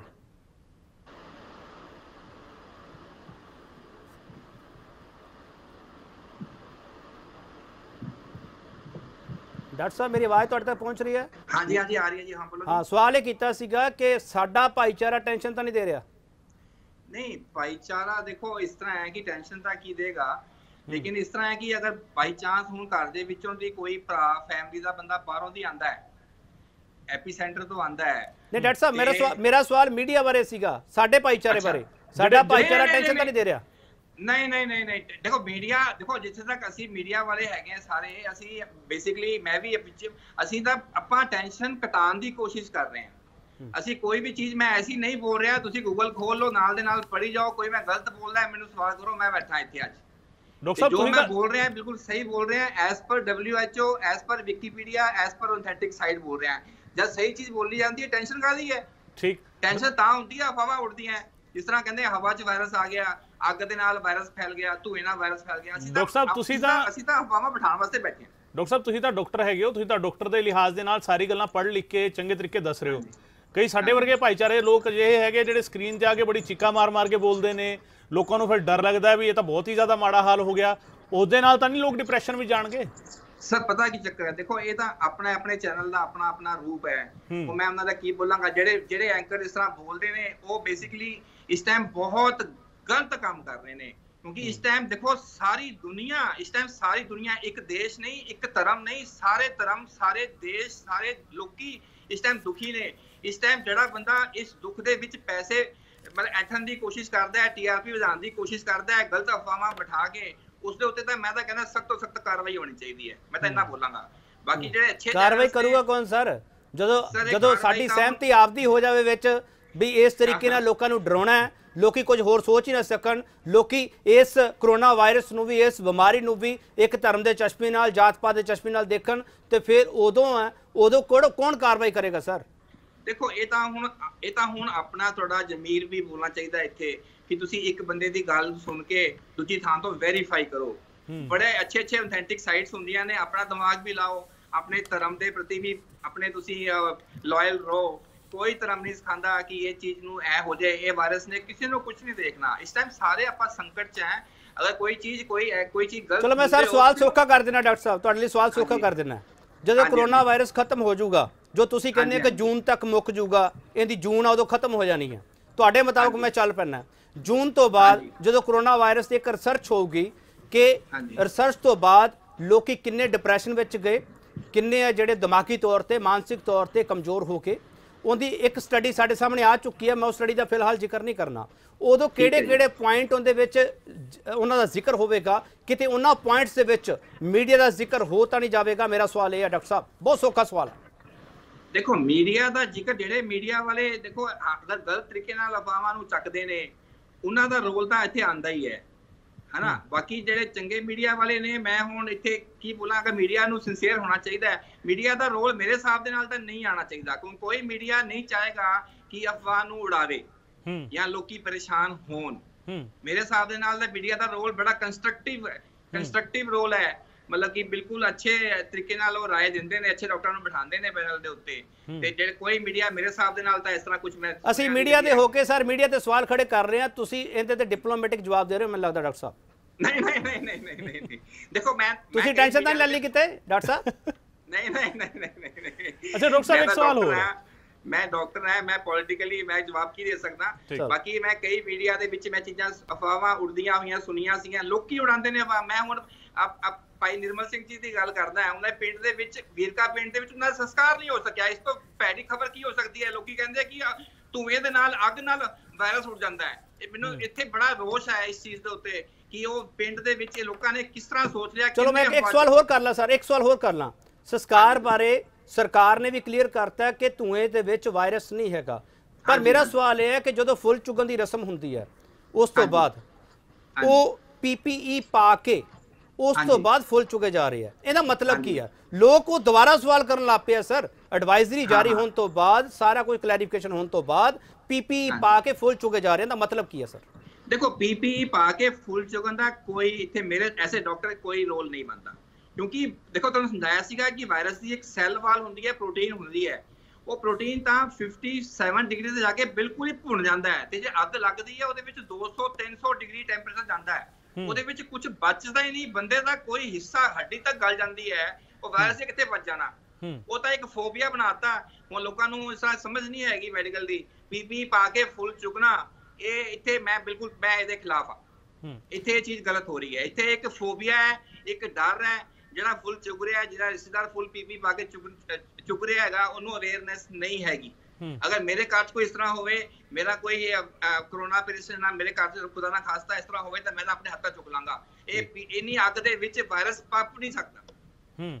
ਅੱਛਾ ਡਾਕਟਰ ਸਾਹਿਬ ਇੱਕ ਸਵਾਲ ਹੋਰ ਹੈਗਾ ਜਿਹੜਾ ਅਸੀਂ ਮੀਡੀਆ ਤੇ ਸਵਾਲ ਪੁੱਛ ਰਹੇ ਸੀਗੇ ਮੈਂ ਵਾਪਸ ਉਸ ਤੇ ਆਉਣਾ ਹੈ। ਅਸੀਂ ਇਹ ਸਾਰੀ ਪੈਂਡੈਮਿਕ ਜਿਸ ਨੂੰ WHO ਕਹਿ ਰਿਹਾ ਹੈ ਇਸ ਨੂੰ ਸਕੋਰ ਦੇ ਵਿੱਚ ਕਨਵਰਟ ਕਰਤਾ ਹੈ। ਸਾਡੀ ਟੀਵੀ ਸਕਰੀਨਸ ਤੇ ਜਿਹੜਾ ਹੈਗਾ ਸੋ ਕਾਲਡ ਜਿਹੜਾ ਨੈਸ਼ਨਲ ਮੀਡੀਆ ਹੈਗਾ ਇੰਟਰਨੈਸ਼ਨਲ ਮੀਡੀਆ ਹੈਗਾ ਉਹ ਸਕਰੋਲਿੰਗ ਦੇ ਵਿੱਚ ਜਿਹੜਾ ਹੈਗਾ ਲਗਾਤਾਰ ਦਿਖਾਉਂਦੇ ਆ ਇਹ ਸੂਬਾ ਜਿਹੜਾ ਹੈਗਾ ਇੰਨੇ ਅੰਕੜੇ ਇਸ ਸੂਬੇ ਦੇ ਇੰਨੇ ਅੰਕੜੇ ਇਸ ਸੂਬੇ ਦੇ ਇੰਨੇ ਅੰਕੜੇ। ਅਸੀਂ ਸਕਰੀਨ ਦੀ ਗੱਲ ਕਰ ਰਹੇ ਸੀ ਸਕਰੀਨ ਤੋਂ ਦੂਰੀ ਬਣਾ ਕੇ ਰੱਖਣੀ ਚਾਹੀਦੀ ਹੈ ਸਕਰੀਨ ਤੋਂ ਆਪਣੇ ਆਪ ਨੂੰ ਬਚਾਉਣਾ ਚਾਹੀਦਾ ਹੈ। ਇਸ ਤਰ੍ਹਾਂ ਦੀ ਸਕਰੀਨ ਤੋਂ ਲੋਕ ਕਿਵੇਂ ਬਚਾਣਗੇ ਆਪਣੇ ਆਪ ਨੂੰ? ਇਨਫੋਰਮੇਸ਼ਨ ਲੈਣੀ ਵੀ ਹੈ ਇਨਫੋਰਮੇਸ਼ਨ ਦਿੱਤੀ ਕਿਵੇਂ ਜਾਵੇ ਲੋਕਾਂ ਨੂੰ? ਸਰ ਦੇਖੋ ਇਹ ਤੁਸੀਂ ਇਹ ਥੱਲੇ ਚਲਾਉਂਦੇ ਹੋ ਕਿ ਇੰਨੇ ਇੰਨੇ ਬੰਦੇ ਇੰਨੇ ਚੱਲਦੇ ਪਏ ਆ ਪਟਿਆਲਾ ਜਿੰਨੇ ਅੰਬਾਲੇ ਜਿੰਨੇ। ਉੱਥੇ ਇਹ ਕੋਈ ਬੀਐਸਸੀ ਦਾ ਕੋਈ ਸੈਂਸੈਕਸ ਸਕੇਲ ਹੈਗਾ। ਚਲਾਉਂਦੇ ਪਏ ਤੁਸੀਂ? ਤੁਸੀਂ ਡਰਾ ਰਹੇ ਹੋ ਲੋਕਾਂ ਨੂੰ? ਤੁਸੀਂ ਇੱਕ ਸਿੰਪਲ ਇੱਕ ਚਲਾਣੇ ਬੰਦ ਕਰ ਦਈਏ ਸਰ ਸਾਡੇ ਵੀ ਚੱਲਦੇ ਪਏ ਚਲਾਣੇ ਬੰਦ ਕਰ ਦਈਏ। ਨਹੀਂ ਇਹ ਬਾਰ-ਬਾਰ ਚੱਲਦੇ ਆ ਜਿਹੜੇ ਬਾਰ-ਬਾਰ ਥੱਲੇ ਚੱਲਦੇ ਆ ਉਹਨਾਂ ਫੋਬੀਆ ਹੋ ਜਾਂਦਾ। ਅੱਛਾ ਅਸੀਂ ਸਿਰਫ ਇਨਫੋਰਮੇਸ਼ਨ ਦੇ ਰਹੇ ਸਰ ਇਨਫੋਰਮੇਸ਼ਨ ਹਾਂਜੀ ਹਾਂਜੀ ਹਾਂਜੀ। ਮੈਨੂੰ ਮੈਨੂੰ ਦਿਖ ਰਿਹਾ ਚੈਨਲ ਕੀ ਚਲਾ ਰਿਹਾ ਤੇ ਜਿਹੜੇ ਲਗਾਤਾਰ ਥੱਲੇ ਚੱਲਦਾ ਹੈ ਥੱਲੇ ਕੀ ਇਸ ਤਰ੍ਹਾਂ ਕਿ ਚੈਨਲ ਦੇ ਵਿੱਚ ਕੀ ਵੀ ਬੰਬੇ ਚ ਇੰਨਾ ਹੋ ਗਿਆ ਉਹ ਲਗਾਤਾਰ ਚੱਲੀ ਜਾ ਰਿਹਾ ਸ਼ਾਮ ਤੱਕ। ਤੇ ਉਹ ਚੀਜ਼ ਨੂੰ ਥੋੜਾ ਜਿਹਾ ਇਹਨੂੰ ਇਨਫੋਰਮੇਸ਼ਨ ਨੂੰ ਤੁਸੀਂ ਜਿਹੜਾ ਦੇਣਾ ਹੈ ਆਪਣੇ ਲੋਕਾਂ ਨੂੰ ਉਹਨੂੰ ਇੱਕ ਤਰੀਕੇ ਦੇ ਨਾਲ ਜਾਇਜ਼ ਤਰੀਕੇ ਨਾਲ ਦਿਓ। ਕਿ ਡਰਾਉਣ ਵਾਲਾ ਇਨਫੋਰਮੇਸ਼ਨ ਤੁਸੀਂ ਇਨਫੋਰਮੇਸ਼ਨ ਦੇਣ ਤਰੀਕਾ ਹੁੰਦਾ ਹੈ। ਪ੍ਰੈਜੈਂਟੇਸ਼ਨ ਤੁਸੀਂ ਚੰਗੇ ਤਰੀਕੇ ਨਾਲ ਕਰੋ ਤੇ ਲੋਕੀ ਡਰਨਗੇ ਨਹੀਂ। ਅਗਰ ਡਰਾ ਡਰਾ ਕੇ ਕਰੋਗੇ ਤਾਂ ਕभी ਡਰਨਗੇ। ਉਹ ਤੁਹਾਡਾ ਹੀ ਮਤਲਬ ਤੁਹਾਨੂੰ ਪਤਾ ਹੀ ਚਾਹੀਦਾ। ਡਾਕਟਰ ਸਾਹਿਬ ਇੱਕ ਸਵਾਲ ਮੈਂ ਜ਼ਰੂਰ ਕਰਨਾ ਚਾਹੁੰਦਾ ਤੁਹਾਨੂੰ ਕਿ ਕਰੋਨਾ ਵਾਇਰਸ ਦਾ ਜਿਹੜਾ ਮੋਰਟਿਟੀ ਰੇਟ ਹੈਗਾ ਉਹ ਇੰਨਾ ਜ਼ਿਆਦਾ ਨਹੀਂ ਹੈਗਾ। ਇਹਦਾ ਸਟ੍ਰਾਈਕ। ਰੇਟ ਬਹੁਤ ਜ਼ਿਆਦਾ ਹੈਗਾ ਬਹੁਤ ਜਲਦੀ ਫੈਲਦਾ ਪਿਆ ਹੈ ਹਾਂਜੀ ਕਿ। ਬਾਕੀ ਬਿਮਾਰੀਆਂ ਖਤਮ ਹੋ ਗਈਆਂ ਉਹਨਾਂ ਦੀ ਕੋਈ ਸੂਚਨਾ ਸਾਡੇ ਤੱਕ ਨਹੀਂ ਪਹੁੰਚ ਪਾ ਰਹੀ। ਟੀਬੀ ਡਾਇਬੀਟੀਜ਼ ਜਾਂ ਹੋਰ ਜਿਹੜੇ ਰੋਗ ਹੈਗੇ ਆ ਉਹਨਾਂ ਨਾਲ ਮੌਤਾਂ ਦਾ ਅੰਕੜਾ ਬਹੁਤ ਜ਼ਿਆਦਾ ਹੈਗਾ। ਪਰ ਉਹ ਇਸ ਤਰੀਕੇ ਨਾਲ ਨਹੀਂ ਫੈਲਦਾ ਹੈਗਾ। ਪਰ ਸਵਾਲ ਇਹ ਹੈਗਾ ਕਿ ਬਾਕੀ ਬਿਮਾਰੀਆਂ ਮੁੱਕ ਗਈਆਂ? ਬਾਕੀ ਬਿਮਾਰੀਆਂ ਉੱਥੇ ਹੀ ਆਈਆਂ ਇੱਥੇ ਸਿਰਫ ਗੱਲ ਇਸੇ ਦੀ ਹੋ ਰਹੀ ਹੈ ਹੁਣ ਇਨਫਲੂਐਂਜ਼ਾ ਦੀ ਡੈਥ 14000 ਇੱਕ ਸਾਲ ਦੇ ਵਿੱਚ ਰੋਜ਼ ਇੱਕ 14 ਸਾਲ ਦੇ ਵਿੱਚ ਹਰ ਸਾਲ ਮਰਦੇ ਆ ਲੋਕੀ। 14000 ਇਹ ਮੈਂ ਫਿਕਰ ਪੜੀ ਸੀ। ਤੇ ਹੁਣ ਮਤਲਬ ਕਿ ਟੀਬੀ ਦੇ ਨਾਲ ਕਿੰਨੇ ਕਿੰਨੇ ਲੱਖਾਂ ਲੋਕੀ ਮਰਦੇ ਨੇ। ਤੇ ਮਰ ਵੀ ਰਹੇ ਨੇ। ਇਸ ਟਾਈਮ ਸਾਰਾ ਸਕਰੀਨੋ ਸਾਰਾ ਮਤਲਬ ਕਿ ਟੈਨਸ਼ਨ ਲੋਕਾਂ ਦੀ ਮੀਡੀਆ ਦੀ, ਲੋਕਾਂ ਦੀ ਲੀਡਰਾਂ ਦੀ ਲੀਡਰ ਵੀ ਦੇਖੋ ਇਹਦੇ ਵਿੱਚ ਇਫੈਕਟਡ ਹੋ ਰਿਹਾ ਕਰੋਨਾ ਤੋਂ ਬ੍ਰਿਟਿਸ਼ ਦੇ ਦੇਖੋ ਮਿਨਿਸਟਰਸ ਕਈ ਇਫੈਕਟਡ ਹੋਏ ਨੇ। ਇਹ ਸਾਰਾ ਧਿਆਨ ਫੋਕਸ ਇੱਕੋ ਹੀ ਛੋਟੇ ਜਿਹੇ ਵਾਇਰਸ ਤੇ ਹੋ ਗਿਆ ਤੇ ਉਸ ਕਰਕੇ ਸਾਰਾ ਇਹ ਬਾਕੀ ਬਿਮਾਰੀਆਂ ਦਾ ਸਭ ਸਬ ਡਿਊ ਹੋ ਗਈਆਂ। ਇਹ ਛੋਟੀ ਮੋਟੀਆਂ ਬਿਮਾਰੀਆਂ ਹੈਗੀਆਂ ਲੋਕੀ ਜਿਹੜੇ ਰੋਡ ਐਕਸੀਡੈਂਟ ਤੇ ਕਿੰਨੇ ਲੋਕੀ ਮਰਦੇ ਨੇ। ਠੀਕ ਹੈ ਜੀ? ਤੇ ਉਹ ਚੀਜ਼ਾਂ ਦੇਖੋ ਹੁਣ ਉਹ ਬਚ ਰਹੀਆਂ ਨੇ। ਅਗਰ ਮੈਂ ਪੋਜ਼ਿਟਿਵਿਟੀ ਕਹਾਂ ਲੋਕਡਾਊਨ ਦੇ ਵਿੱਚ ਜਿੰਨੀਆਂ ਵੀ ਆਪਣੀਆਂ ਡੈਥਸ ਹੁੰਦੀਆਂ ਨੇ ਆਪਾਂ ਪੋਜ਼ਿਟਿਵ ਸੋਚੀਏ ਨਾ ਭਾਜੀ। ਅਸੀਂ ਨੈਗੇਟਿਵ ਕਿਉਂ ਸੋਚਦੇ ਆ? ਲਾਕਡਾਊਨ ਦਾ ਵੀ ਇੱਕ ਪੋਜ਼ਿਟਿਵ ਫੈਕਟਰ ਹੈਗਾ। ਅਗਰ ਅਸੀਂ ਘਰ 'ਚ ਬੈਠੇ ਆ ਤੇ ਜਿੰਨੀਆਂ ਵੀ ਰੋਡ ਐਕਸੀਡੈਂਟਸ ਡੈਥ ਹੁੰਦੀਆਂ ਉਹ ਵੀ ਘਟਦੀਆਂ ਪਈਆਂ। ਬਾਕੀ ਇਹ ਕੋਈ ਇਸ ਤਰ੍ਹਾਂ ਜਵਾਬ ਦੇਣ ਦੀ ਮੈਨੂੰ ਲੋੜ ਨਹੀਂ ਹੈਗੀ। ਪਰ ਮੈਂ ਇੱਕ ਵੇ ਦੱਸ ਰਿਹਾ ਕਿ ਆਪਾਂ ਪੋਜ਼ਿਟਿਵ ਰਹੀਏ ਸੋਚਣ ਦੇ ਵਾਸਤੇ ਤੇ। ਪੋਜ਼ਿਟਿਵਿਟੀ ਦੇ ਨਾਲ ਹੀ ਇਹ ਬੇਜ਼ੁਬਾਨ ਸਰ ਖੁਸ਼ ਹੋ ਗਏ ਆ ਬੇਜ਼ੁਬਾਨ ਖੁਸ਼ ਹੋ ਗਏ ਆ ਉਹ ਕਹਿੰਦੇ ਸ਼ੁਕਰ ਹੈ ਅੰਦਰ ਤਾਂ ਗਏ। ਹਾਂਜੀ। ਦੇਖੋ ਜਾਨਵਰ ਸਾਰੇ ਜਿਹੜੇ ਹੈਗੇ ਨੇ ਇਸ ਟਾਈਮ ਮੈਂ ਦੇਖ ਰਿਹਾ ਕਿ ਚਿੜੀਆਂ ਦੇਖੋ ਇੱਥੋਂ ਦੀ ਪਹਾੜ ਦਿਖਣ ਲੱਗੇ ਕਿੰਨੀ ਕਿੰਨੀ ਨਿਊਜ਼ਾਂ ਵਾਇਰਲ ਹੋ ਰਹੀਆਂ ਹੈ। ਚੰਡੀਗੜ੍ਹ ਦੇ ਵਿੱਚ ਇੱਕ ਚੀਤਾ ਲੈਪਰਡ ਆ ਗਿਆ। ਦੇਖੋ ਮਤਲਬ ਕਿ ਸ਼ਹਿਰ ਵਿੱਚ ਲੈਪਰਡ ਆ ਗਿਆ।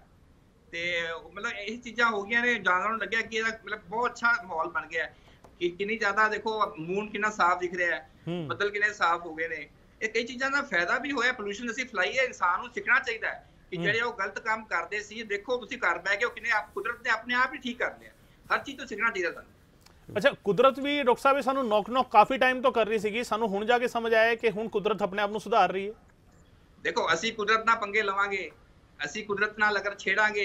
ਜੰਗਲੀ ਜੀਵਾਂ ਦੇ ਨਾਲ ਅਸੀਂ ਦੇਖੋ ਅਸੀਂ ਪਾਲਤੂ ਜਾਨਵਰ ਅਲੱਗ ਹੁੰਦੇ ਨੇ ਡੋਮੈਸਟਿਕ ਐਨੀਮਲ ਅਲੱਗ ਹੁੰਦੇ ਨੇ ਵਾਈਲਡ। ਐਨੀਮਲ ਅਲੱਗ ਹੁੰਦੇ ਨੇ। ਅਸੀਂ ਵਾਈਲਡ ਐਨੀਮਲ ਦੇ ਨਾਲ ਪੰਗੇ ਲਵਾਂਗੇ ਸਾਨੂੰ ਕੁਦਰਤ ਜਵਾਬ ਦੇ ਦੇਗੀ।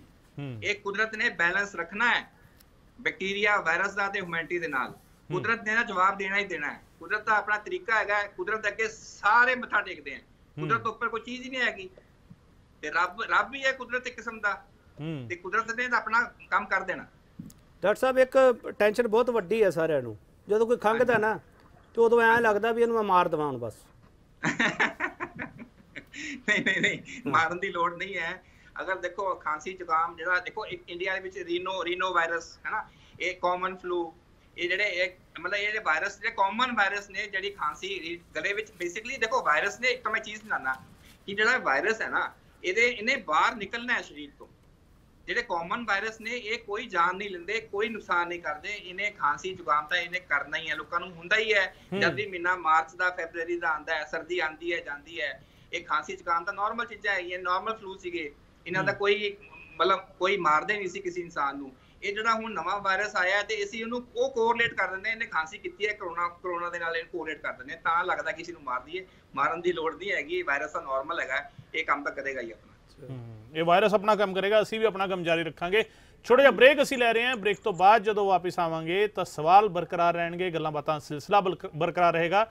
ਨਾਲ ਹੀ ਇਹ ਵੀ ਸਮਝਣ ਦੀ ਕੋਸ਼ਿਸ਼ ਕਰਾਂਗੇ ਕਿ ਸੋਸ਼ਲ ਡਿਸਟੈਂਸਿੰਗ ਜਿਹੜੀ ਹੈਗੀ ਹੈ, ਇਹ ਸਾਨੂੰ ਕਿਹੜੇ ਪਾਸੇ ਲੈ ਕੇ ਜਾ ਰਹੀ ਹੈ? ਇਸ ਤੇ ਵੀ ਜਿਹੜੀ ਫੈਂਸਿੰਗ ਅਸੀਂ ਆਪ ਖੜੀ ਕਰ ਲਈ ਹੈ ਉਹ ਕਿੱਥੇ ਸਾਨੂੰ ਲੈ ਕੇ ਜਾ ਰਹੀ ਹੈ? ਛੋਟੇ ਜਿਹੇ ਬ੍ਰੇਕ ਤੋਂ ਬਾਅਦ ਛੇਤੀ ਵਾਪਸ ਆ ਰਹੇ ਹਾਂ। ਸਵਾਲ ਇੱਕੋ ਪੁੱਛ ਰਹੇ ਹਾਂ ਕੋਰੋਨਾ ਵਾਇਰਸ ਦੇ ਨਾਂ ਤੇ ਤੁਸੀਂ ਟੈਨਸ਼ਨ ਕਿਉਂ ਲੈ ਰਹੇ ਹੋ? ਸਵਾਲਾਂ ਜਵਾਬ ਦੇਣ ਦੇ ਲਈ ਡਾਕਟਰ ਸਾਹਿਬ ਸਾਡੇ ਨਾਲ ਮੌਜੂਦ ਨੇ। ਬ੍ਰੇਕ ਤੇ ਜਾਣ ਤੋਂ ਪਹਿਲਾਂ ਡਾਕਟਰ ਸਾਹਿਬ ਅਸੀਂ ਗੱਲ ਕਰ ਰਹੀ ਸੋਸ਼ਲ ਡਿਸਟੈਂਸਿੰਗ ਰੱਖਣੀ ਚਾਹੀਦੀ ਹੈ। ਸੋਸ਼ਲ ਡਿਸਟੈਂਸਿੰਗ ਜਿਹੜੀ ਹੈਗੀ ਹੈ ਇਸ ਦੇ ਵਿੱਚ ਅਸੀਂ ਜਿਹੜੀ ਫੈਂਸਿੰਗ ਆਪੇ ਖੜੀ ਕਰ ਲਈ ਹੈ ਇਹ ਕਿਹੜੇ ਪਾਸੇ ਸਾਨੂੰ ਲੈ ਕੇ ਜਾਵੇਗੀ? ਦੇਖੋ ਸਾਨੂੰ ਇਹ ਸਿੱਖ ਸਾਨੂੰ ਇਹ ਸਿੱਖਣਾ ਪਏਗਾ ਹੁਣ। ਹੂੰ। ਸਾਨੂੰ ਇਹ ਸਭ ਨੂੰ ਸਿੱਖਣਾ ਪਏਗਾ ਕਿ ਆਪਸ ਦੇ ਵਿੱਚ ਘੱਟ ਤੋਂ ਘੱਟ 1 ਮੀਟਰ ਦਾ ਫਾਸਲਾ ਮਤਲਬ ਇਹ ਰੱਖਣਾ ਹੀ ਪਏਗਾ ਹੁਣ ਕਿਉਂਕਿ ਇਹ ਇਸ ਤਰੀਕੇ ਦਾ ਹੀ ਇਹ ਬਿਮਾਰੀ ਹੈਗੀ ਹੈ। ਕਿ ਜਿਹਦੇ ਵਿੱਚ ਸਾਨੂੰ ਇਹ ਫਾਸਲਾ ਹੁਣ ਸਿੱਖਣਾ ਪਏਗਾ ਕਿਉਂਕਿ ਇਹਨੇ ਸਾਰੇ ਪਾਸੇ ਇਹਨੇ ਆਪਣਾ ਕਹਿਰ ਪਾਇਆ ਹੋਇਆ ਹੈ ਤੇ ਜਿਹੜਾ ਇਹ ਵਾਇਰਸ ਹੈਗਾ ਜਿਹੜੀ ਇਹਦੀ ਡ੍ਰੌਪਲੇਟਸ ਹੈਗੇ ਨੇ ਜੋ। ਸਟੱਡੀ ਆਈ ਹੈ ਕਿ ਉਹ 2.5 ਮੀਟਰ 2.5 ਫੁੱਟ ਜਾਂ 1 ਮੀਟਰ ਦੇ ਉੱਪਰ ਅੱਗੇ ਜਾਂਦਾ ਨਹੀਂ ਆ। ਤੇ ਸੋਸ਼ਲ ਡਿਸਟੈਂਸਿੰਗ ਰੱਖਾਂਗੇ ਬਾਈ ਚਾਂਸ ਕੋਈ ਵੀ ਕਿਸੇ ਵੀ ਰਿਸ਼ਤੇਦਾਰ ਨੂੰ ਕੋਈ ਪ੍ਰੋਬਲਮ ਆਂਦੀ ਹੈ ਤੇ ਉਹ ਦੂਜੇ ਨੂੰ ਨਹੀਂ ਫੈਲਾਏਗਾ ਇਹ ਸਾਨੂੰ ਸਿੱਖਣਾ ਪਏਗਾ ਹੁਣ ਇਹ ਮੈਨਰਸ ਹੈ ਇਹਦੇ ਕੋਈ ਨੁਕਸਾਨ ਨਹੀਂ ਹੈਗਾ ਇਹ ਆਪਾਂ ਨੂੰ ਰੱਖਣਾ ਪਏਗਾ। ਡਾਕਟਰ ਸਾਹਿਬ ਗੁੱਡ ਹੈ। ਡਾਕਟਰ ਸਾਹਿਬ ਗੁੱਡ ਮੈਨਰਸ ਤਾਂ ਹੈਗੇ ਆ।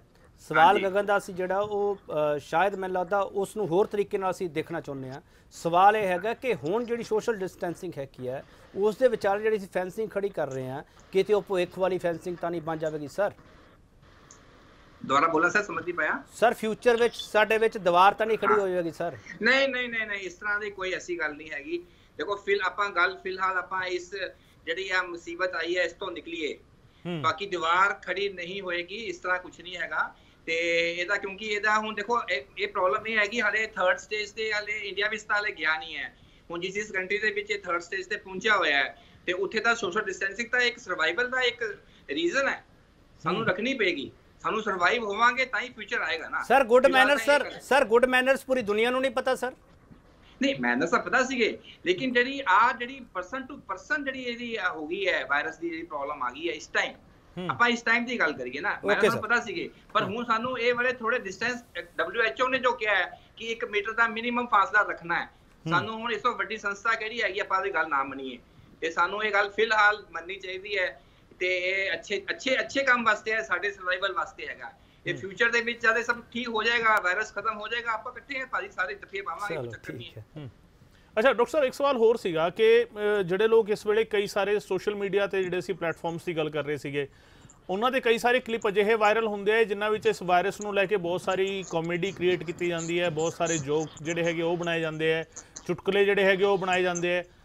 ਉਹ ਵੇਖਣਾ ਡਿਪਰੈਸ਼ਨ ਘੱਟ ਕਰੇਗਾ ਜਾਂ ਕਿਤੇ ਨਾ ਕਿਤੇ ਡਿਪਰੈਸ਼ਨ ਵੱਲ ਜਾਂ ਟੈਨਸ਼ਨ ਵੱਲ ਸਾਨੂੰ ਥੋੜਾ ਥੋੜਾ ਕਰਕੇ ਲੈ ਜਾਏਗਾ? ਦੇਖੋ ਇਹ ਇਹ ਜਿਹੜੀ ਬਿਮਾਰੀ ਹੈਗੀ ਹੈ ਜੋਕ ਵਾਲੀ ਤਾਂ ਹੈ ਨਹੀਂ ਹੂੰ। ਮੇਰੇ ਹਿਸਾਬ ਦੇ ਨਾਲ। ਹੂੰ। ਇਹ ਜੋਕਸ ਇਸ ਦੇ ਉੱਤੇ ਕੋਈ ਵੀ ਮੀਮਸ ਜਾਂ ਜੋਕਸ ਇਸ ਤੇ ਨਹੀਂ ਬਣਨੇ ਚਾਹੀਦੇ। ਇਹਦੀ ਅਵੇਅਰਨੈਸ ਵਾਸਤੇ ਇਹ ਬਿਮਾਰੀ ਤੋਂ ਬਚਣ ਵਾਸਤੇ ਤੁਸੀਂ ਜੋ ਮਰਜ਼ੀ ਵੀਡੀਓ ਬਣਾ ਲਓ ਹੂੰ। ਜਿਸ ਤਰੀ ਮਰਜ਼ੀ ਤਰੀਕੇ ਨਾਲ ਸਮਝਾ ਲਓ। ਦੈਟ ਦੈਟ ਇਜ਼ ਮਤਲਬ ਗੁੱਡ ਹੈ। ਅਗਰ ਤੁਸੀਂ ਇਸ ਤੇ ਮਜ਼ਾਕ ਬਣਾ ਲੋਗੇ ਅਤਰ ਮੈਂ ਦੇਖਿਆ ਕਿ ਇੱਕ ਇੱਕ ਟਮਾਟਰ ਲੈ ਕੇ ਚੱਟ ਕੇ ਉਹਨੂੰ ਦੇਈ ਜਾ ਰਿਹਾ ਸੀਗਾ ਅੱਗੇ ਕੀ ਮੈਂ ਵਾਇਰਸ ਫੈਲਾ ਰਿਹਾ। ਇਹ ਇੱਕ ਕਮਿਊਨਿਟੀ ਦੇ ਖਿਲਾਫ ਜਾਂ ਕੁਝ ਵੀ ਜੋ ਵੀ ਮੈਂ ਕਹਾਂ ਇਹਨੂੰ ਐਸੀ ਚੀਜ਼ਾਂ ਤਾਂ ਬਿਲਕੁਲ ਹੀ ਨਹੀਂ ਹੋਣੀ ਚਾਹੀਦੀਆਂ। ਇਹਦਾ ਮਜ਼ਾਕ ਬਣਾਤਾ ਇਹਦਾ ਤੁਸੀਂ ਮਤਲਬ ਕਿ ਇਹ ਚੀਜ਼ਾਂ ਦਾ ਬਿਲਕੁਲ ਹੀ ਇਹ ਚੀਜ਼ਾਂ ਅਗਰ ਅਪਲੋਡ ਹੋਣੀਆਂ ਨਹੀਂ ਚਾਹੀਦੀਆਂ ਅਗਰ ਹੋ ਵੀ ਗਈਆਂ ਤਾਂ ਅੱਗੇ ਫਾਰਵਰਡ ਨਹੀਂ ਹੋਣੀ ਚਾਹੀਦੀਆਂ। ਤੇ ਐਸੇ ਵਾਲੀ ਚੀਜ਼ਾਂ ਨੂੰ ਮੈਂ ਬਹੁਤ ਖਿਲਾਫ ਹੈ ਐਸੀ ਚੀਜ਼ਾਂ ਦੀ ਅਵੇਅਰਨੈਸ ਤੁਸੀਂ ਜੋ ਮਰਜ਼ੀ ਕਰ ਲਓ ਵੀ ਹਾਂ ਵਾਇਰਸ ਬਚਣ ਦੀ ਆਪਾਂ ਇਹ ਚੀਜ਼ਾਂ ਕਰਨੀਆਂ। ਸਰ ਇੱਕ ਮੈਨੂੰ ਦੱਸੋ ਥੋੜਾ ਜਿਹਾ ਤੁਸੀਂ ਤਾਂ ਬੜੇ ਇਸ ਵੱਡੇ ਸਮਾਜ ਦੇ ਵਿੱਚ ਵਿਚਰਦੇ ਹੋ। ਜਿਹੜਾ ਆਮ ਬੰਦਾ ਉਹ ਘਰੇ ਰਹਿ ਸਕਦਾ? ਬਹੁਤ ਮੁਸ਼ਕਲ ਹੈ। ਬਹੁਤ ਮੁਸ਼ਕਲ ਹੈ। ਰੋਟੀ ਵੀ ਖਾਣੀ ਹੈ, ਪਰਿਵਾਰ ਵੀ ਪਾਲਣਾ ਹੈ। ਹੁਣ ਮੈਂ ਐਜ਼ ਅ ਡਾਕਟਰ ਚਲੋ ਮੈਂ ਤਾਂ ਹਲੇ ਮੈਂ ਕਈ ਕੰਮ ਹੋਰ ਸੋਸ਼ਲ ਕਾਜ਼ ਤੇ ਕਰਦਾ, ਮੈਂ ਤਾਂ ਬਿਜ਼ੀ ਹੋ ਜਾਂਦਾ। ਲੇਕਿਨ ਇੱਕ ਬੰਦਾ ਜਿਹੜਾ ਹੁਣ ਕਈ ਡਾਕਟਰ ਤਾਂ ਵੈਸੇ ਜਿਹਨਾਂ ਕੋਲ ਪ੍ਰੋਪਰ ਜਿਹਨਾਂ ਦੀ ਹਿੰਮਤ ਨਹੀਂ ਹੈਗੀ, ਉਹ ਵਿਚਾਰੇ ਕਲੀਨਿਕ ਬੰਦ ਕਰਕੇ ਬੈਠੇ ਹੋਏ ਨੇ ਹਸਪੀਟਲਸ ਬੰਦ ਹੋ ਰਹੇ ਨੇ ਪੰਜਾਬ ਦੇ ਵਿੱਚ। ਮੈਂ ਸੁਣਿਆ ਸੀਗਾ ਇੱਕ ਦੋ ਦਿਨ ਹਸਪੀਟਲ ਵੀ ਇਹਨਾਂ ਨੇ ਕਲੋਜ਼ ਸ਼ਟ ਡਾਊਨ ਕਰਦੇ ਨੇ ਪੇਸ਼ੈਂਟ ਆ ਨਹੀਂ ਰਹੇ। ਤੇ ਘਰ ਬਹਿਣਾ ਬਹੁਤ ਮੁਸ਼ਕਲ ਹੈ ਇੱਕ ਬੰਦੇ ਵਾਸਤੇ, ਕਿਉਂਕਿ ਜਿਹਨੂੰ ਆਦਤ ਪਈ ਹੈ, ਹੁਣ 30 35 ਸਾਲ ਦਾ ਆਦਮੀ ਹੈ, ਉਹਨੇ ਪੂਰੀ ਦਿਨ ਦਿਨ ਉਹਨੇ ਕੰਮ ਕੀਤਾ ਹੈ। ਤੇ ਘਰ ਬਿਠਾ ਦਿਓ ਇੱਕ ਦਿਨ ਲਈ ਸੰਡੇ ਨੂੰ ਠੀਕ ਹੈ ਬਹੁਤ ਅੱਛਾ ਇੰਜੋਏ ਹੁੰਦਾ ਹੈ। ਤੁਸੀਂ ਉਹਨੂੰ ਲਗਾਤਾਰ ਬਿਠਾ ਦਿਓ ਉਹਨੂੰ 15 20 ਦਿਨ ਲਈ ਬਹੁਤ ਔਖਾ ਕੰਮ ਹੈ। ਇਸ ਕਰਕੇ ਹੀ ਇਹ ਪ੍ਰੋਬਲਮ ਆ ਰਹੀ ਹੈ। ਡਿਪਰੈਸ਼ਨ ਤਾਂ ਹੀ ਤਾਂ ਆ ਰਿਹਾ। ਕੰਮ ਬਹੁਤ ਔਖਾ ਹੈ ਭਾਜੀ ਸਰ, ਡਾਕਟਰ ਹੋਣ ਦੇ ਨਾਤੇ ਇੱਕ ਸਵਾਲ ਮੈਂ ਤੁਹਾਡੇ ਜ਼ਰੂਰ ਪੁੱਛਣਾ ਚਾਹੁੰਦਾ। ਤੁਹਾਨੂੰ ਆਪਦੀ ਕਮਿਊਨਿਟੀ ਤੇ ਕਦੇ ਗੁੱਸਾ ਆਉਂਦਾ ਜਾਂ ਅਫਸੋਸ ਤੁਹਾਨੂੰ ਕਦੇ ਲੱਗਿਆ ਕਿ ਸਾਡੀ ਕਮਿਊਨਿਟੀ ਇਸ ਪੂਰੇ ਮਾਮਲੇ ਦੇ ਵਿੱਚ ਉਸ ਤਰੀਕੇ ਨਾਲ ਸੇਵਾ ਕਰ ਪਾ ਰਹੀ ਹੈ ਨਹੀਂ ਕਰ ਪਾ ਰਹੀ? ਕਦੇ ਗੁੱਸਾ ਆਇਆ ਕਿਸੇ ਡਾਕਟਰ ਤੇ ਜਾਂ ਕਿਸੇ ਟੀਮ ਤੇ ਡਾਕਟਰ ਟੀਮ ਤੇ? ਮੈਨੂੰ ਬਿਲਕੁਲ ਆਂਦਾ ਹੈ। ਮੈਨੂੰ ਬਿਲਕੁਲ ਆਂਦਾ ਹੈ ਕਿ ਜਿਸ ਤਰ੍ਹਾਂ ਸਾਡੇ ਕੋਲ ਦੇਖੋ ਅਸੀਂ ਜਨਰਲ ਪ੍ਰੈਕਟੀਸ਼ਨਰ ਆ ਠੀਕ ਹੈ? ਅਸੀਂ ਜਨਰਲ ਪ੍ਰੈਕਟੀਸ਼ਨਰ ਆ ਫੈਮਿਲੀ ਡਾਕਟਰ ਆ ਹੁਣ ਜਿਨ੍ਹਾਂ ਦੀ ਫੈਮਿਲੀ ਡਾਕਟਰਾਂ ਦੇ ਕਲੀਨਿਕ ਸ਼ਟਰ ਥੱਲੇ ਹੋ ਗਏ ਉਹਨਾਂ ਨੇ ਸ਼ਟਰ ਥੱਲੇ ਕਰਤੇ। ਮੇਰੇ ਹਿਸਾਬ ਦੇ ਨਾਲ ਮੈਂ ਐਸੇ ਡਾਕਟਰ ਮੈਂ ਫੀਲ ਕਰ ਸਕਦਾ ਹਾਂ ਕਿ ਉਹ ਪੇਸ਼ੈਂਟ ਕਿੰਨਾ ਬੁਰਾ ਮੰਨਦੇ ਹੋਣਗੇ। ਕਿਉਂ? ਮੈਂ ਤਾਂ ਆਪਣੀ ਕਲੀਨਿਕ ਖੋਲਦਾ ਹੈ। ਕਿ ਮੇਰੇ ਕੋਲ ਪੇਸ਼ੈਂਟ ਦੂਜੇ ਡਾਕਟਰਾਂ ਦੇ ਆਉਂਦੇ ਨੇ ਤੇ ਬੜੇ ਰਿਸਪੈਕਟਫੁਲੀ ਗੱਲ ਕਰਦੇ ਨੇ ਕਿ ਡਾਕਟਰ ਤੁਸੀਂ ਦੁਕਾਨ ਤੇ ਤੁਸੀਂ ਕਲੀਨਿਕ ਖੋਲੀ ਹੈ ਗੱਲ ਤਾਂ ਕਰ ਪਾ ਰਹੇ ਹਾਂ ਅਸੀਂ। ਇੰਨਾ ਕੁਝ ਨਹੀਂ ਹੈ ਲੋਕਾਂ ਨੇ ਹੁਣ ਪੈਸੇ ਵਾਵਾ ਕਮਾ ਕੇ ਸਰ ਮੈਂ ਥੋੜੀ ਜਿਹੀ। ਉਦਾਹਰਨ ਦੇਣਾ ਚਾਹੁੰਦਾ ਤੁਹਾਨੂੰ ਥੋੜੀ ਜਿਹੀ ਉਦਾਹਰਨ ਦੇਣਾ ਚਾਹੁੰਦਾ। ਇੱਕ ਪੇਸ਼ੈਂਟ ਹੈ ਨਾਮ ਦਾ ਨਾਮ ਦਾ ਜ਼ਿਕਰ ਕਰ ਰਿਹਾ ਨਾ ਮੈਂ ਹਸਪਤਾਲਾਂ ਦਾ ਜ਼ਿਕਰ ਕਰੂੰਗਾ। ਪਰ ਸਾਡੇ ਪੰਜਾਬ ਦੇ ਬਹੁਤ ਵੱਡੇ ਸ਼ਹਿਰ ਦੇ ਤਿੰਨ ਹਸਪਤਾਲਾਂ ਨੇ ਉਸ ਪੇਸ਼ੈਂਟ ਨੂੰ ਐਂਬੂਲੈਂਸ ਦੇ ਵਿੱਚ ਹੀ ਜਵਾਬ ਦਿੱਤਾ ਕਿ ਅਸੀਂ ਇਹੋ ਜਿਹੇ ਕੇਸਸ ਡੀਲ ਨਹੀਂ ਕਰਦੇ। ਹਜੇ ਉਹ ਪੇਸ਼ੈਂਟ ਕੱਲ ਹੀ ਕਰੋਨਾ ਪੋਜ਼ਿਟਿਵ ਪਾਇਆ ਗਿਆ। ਇਹਦਾ ਮਤਲਬ ਕੀ ਹੈ ਸਰ? ਇਹਦਾ ਮਤਲਬ ਇਹ ਹੈ ਕਿ- ਇਹਦਾ ਮਤਲਬ ਇਹ ਹੈ ਕਿ ਉਸ ਹਸਪੀਟਲ ਦੇ ਵਿੱਚ ਪੀਪੀਈ ਜਿਹੜੇ ਪਰਸਨਲ ਪ੍ਰੋਟੈਕਸ਼ਨ ਜਿਹੜੇ ਇਕਵਿਪਮੈਂਟ ਹੈਗੇ ਆ ਉਹ ਨਹੀਂ ਹੈ। ਉਹਨਾਂ ਦੀ ਨਰਸਾਂ ਦੇ ਕੋਲ ਉਹ ਚੀਜ਼ਾਂ ਨਹੀਂ ਸਰ ਜੇ ਹੈਗੀਆਂ। ਮੈਂ ਉਹਨਾਂ ਕਮਾ ਕੋਲ- ਉਸ ਜੇ ਮੈਂ ਸਰ ਕਮਾ ਉਸ ਹਸਪੀਟਲ ਵਿੱਚ ਉਹ ਸਾਰੀਆਂ ਫੈਸਿਲਿਟੀਆਂ ਮੌਜੂਦ ਸੀ ਫਿਰ ਵੈਂਟੀਲੇਟਰ ਉੱਥੇ ਸੀ ਪੀਪੀ ਉਹਨਾਂ ਕੋਲ ਸੀ ਫਿਰ? ਫਿਰ ਇਹ ਮੈਡੀਕਲ ਐਥਿਕਸ ਦੇ ਬਹੁਤ ਖਿਲਾਫ ਹੈ। ਸਰ, ਫਿਰ ਇਹ ਉਹ- ਫਾਇਦਾ ਕੀ ਹੋਇਆ ਡਾਕਟਰ ਬਣਨ ਦਾ? ਸਰ ਉਹਨਾਂ ਦੇ ਅਗਰ ਖਿਲਾਫ ਤੁਸੀਂ- ਕੋਈ ਐਕਸ਼ਨ ਲੈਣਾ ਚਾਹੀਦਾ ਹੈ? ਬਿਲਕੁਲ ਲੈਣਾ ਚਾਹੀਦਾ ਹੈ। ਅਗਰ ਇਸ ਤਰ੍ਹਾਂ ਦੀ ਕੋਈ ਚੀਜ਼ ਹੈਗੀ ਹੈ ਬਿਲਕੁਲ ਐਕਸ਼ਨ ਲੈਣਾ ਚਾਹੀਦਾ ਤੁਸੀਂ ਸ਼ਬਦ ਕਿਸੇ ਦੀ ਲੈਂਦੇ ਹੋ ਡਾਕਟਰ ਬਣਦੇ ਹੋ ਸ਼ਬਦ ਕਿਸੇ ਦੀ ਲੈਂਦੇ ਹੋ ਤੁਸੀਂ। ਕਿ ਅਸੀਂ ਆਪਣੇ ਕੰਮ ਦੇ ਵਫਾਦਾਰ ਹਾਂ। ਜਦ ਕੋਈ ਦਵਾਈ ਡਾਕਟਰ ਲਿਖਦਾ ਹੈ ਉੱਤੇ ਆਰ ਐਕਸ ਪਾਉਂਦਾ ਹੈ। ਆਰ ਐਕਸ ਦਾ ਮਤਲਬ ਹੁੰਦਾ ਹੈ ਜੁਪੀਟਰ ਗੋਡ ਜੁਪੀਟਰ ਇੱਕ ਵਿਦਵਾਨ ਗ੍ਰਹਿ ਹੈਗਾ। ਜੁਪੀਟਰ ਗੋਡ ਨੂੰ ਅਸੀਂ ਇੱਕ ਸਾਖੀ ਮੰਨ ਕੇ ਦਵਾਈ ਦਾ ਨਾਮ ਲਿਖਦੇ ਹਾਂ। ਡਾਕਟਰ ਉੱਤੇ ਆਰ ਐਕਸ ਪਾਉਂਦਾ ਹੋਣਾ ਤੁਸੀਂ। ਜਦ ਤੁਸੀਂ ਉਸੇ ਉਹ ਸ਼ਬਦ ਲੈ ਕੇ ਦਵਾਈ ਲਿਖਦੇ ਹੋ ਜਦ ਤੁਹਾਨੂੰ ਮੁਸੀਬਤ ਲੋਕਾਂ ਨੂੰ ਆ ਗਈ ਤੁਸੀਂ ਆਪਣੇ ਘਰਾਂ 'ਚ ਬੈਠੇ ਹੋ ਥਿਸ ਇਜ਼ ਵੈਰੀ ਰੋਂਗ ਅਗਰ ਹਸਪੀਟਲ ਇਸ ਤਰ੍ਹਾਂ ਸਭ ਕੁਝ ਇਕਵਿਪਮੈਂਟ ਹੋਣ ਤੋਂ ਬਾਵਜੂਦ ਵੀ ਪੇਸ਼ੈਂਟ ਨੂੰ ਹੁਣ ਇੱਥੇ ਪੈਸੇ ਤਾਂ ਬੰਨੇ ਨਹੀਂ ਹੈ ਜ਼ਿਆਦਾ ਪੇਸ਼ੈਂਟ ਪਤਾ ਕਰੋਨਾ ਤੋਂ ਫਸਿਆ ਹੋਇਆ ਹੈ ਕਲੀਨਿਕ ਬੰਦ ਕਰ ਰਹੇ ਨੇ ਹਸਪੀਟਲ ਬੰਦ ਕਰ ਰਹੇ ਇਹ ਇਹ ਜਿਹੜੇ ਡਾਕਟਰ ਕਰ ਰਹੇ ਨੇ ਉਹ ਆਪਣੇ ਆਪਣੇ ਜ਼ਮੀਰ ਨੂੰ ਪੁੱਛਣ ਕਿ ਉਹ ਠੀਕ ਕਰ ਰਹੇ ਹੈ ਜਵਾਬ ਤੁਹਾਨੂੰ ਉਹੀ ਦੇ ਦੇਗਾ।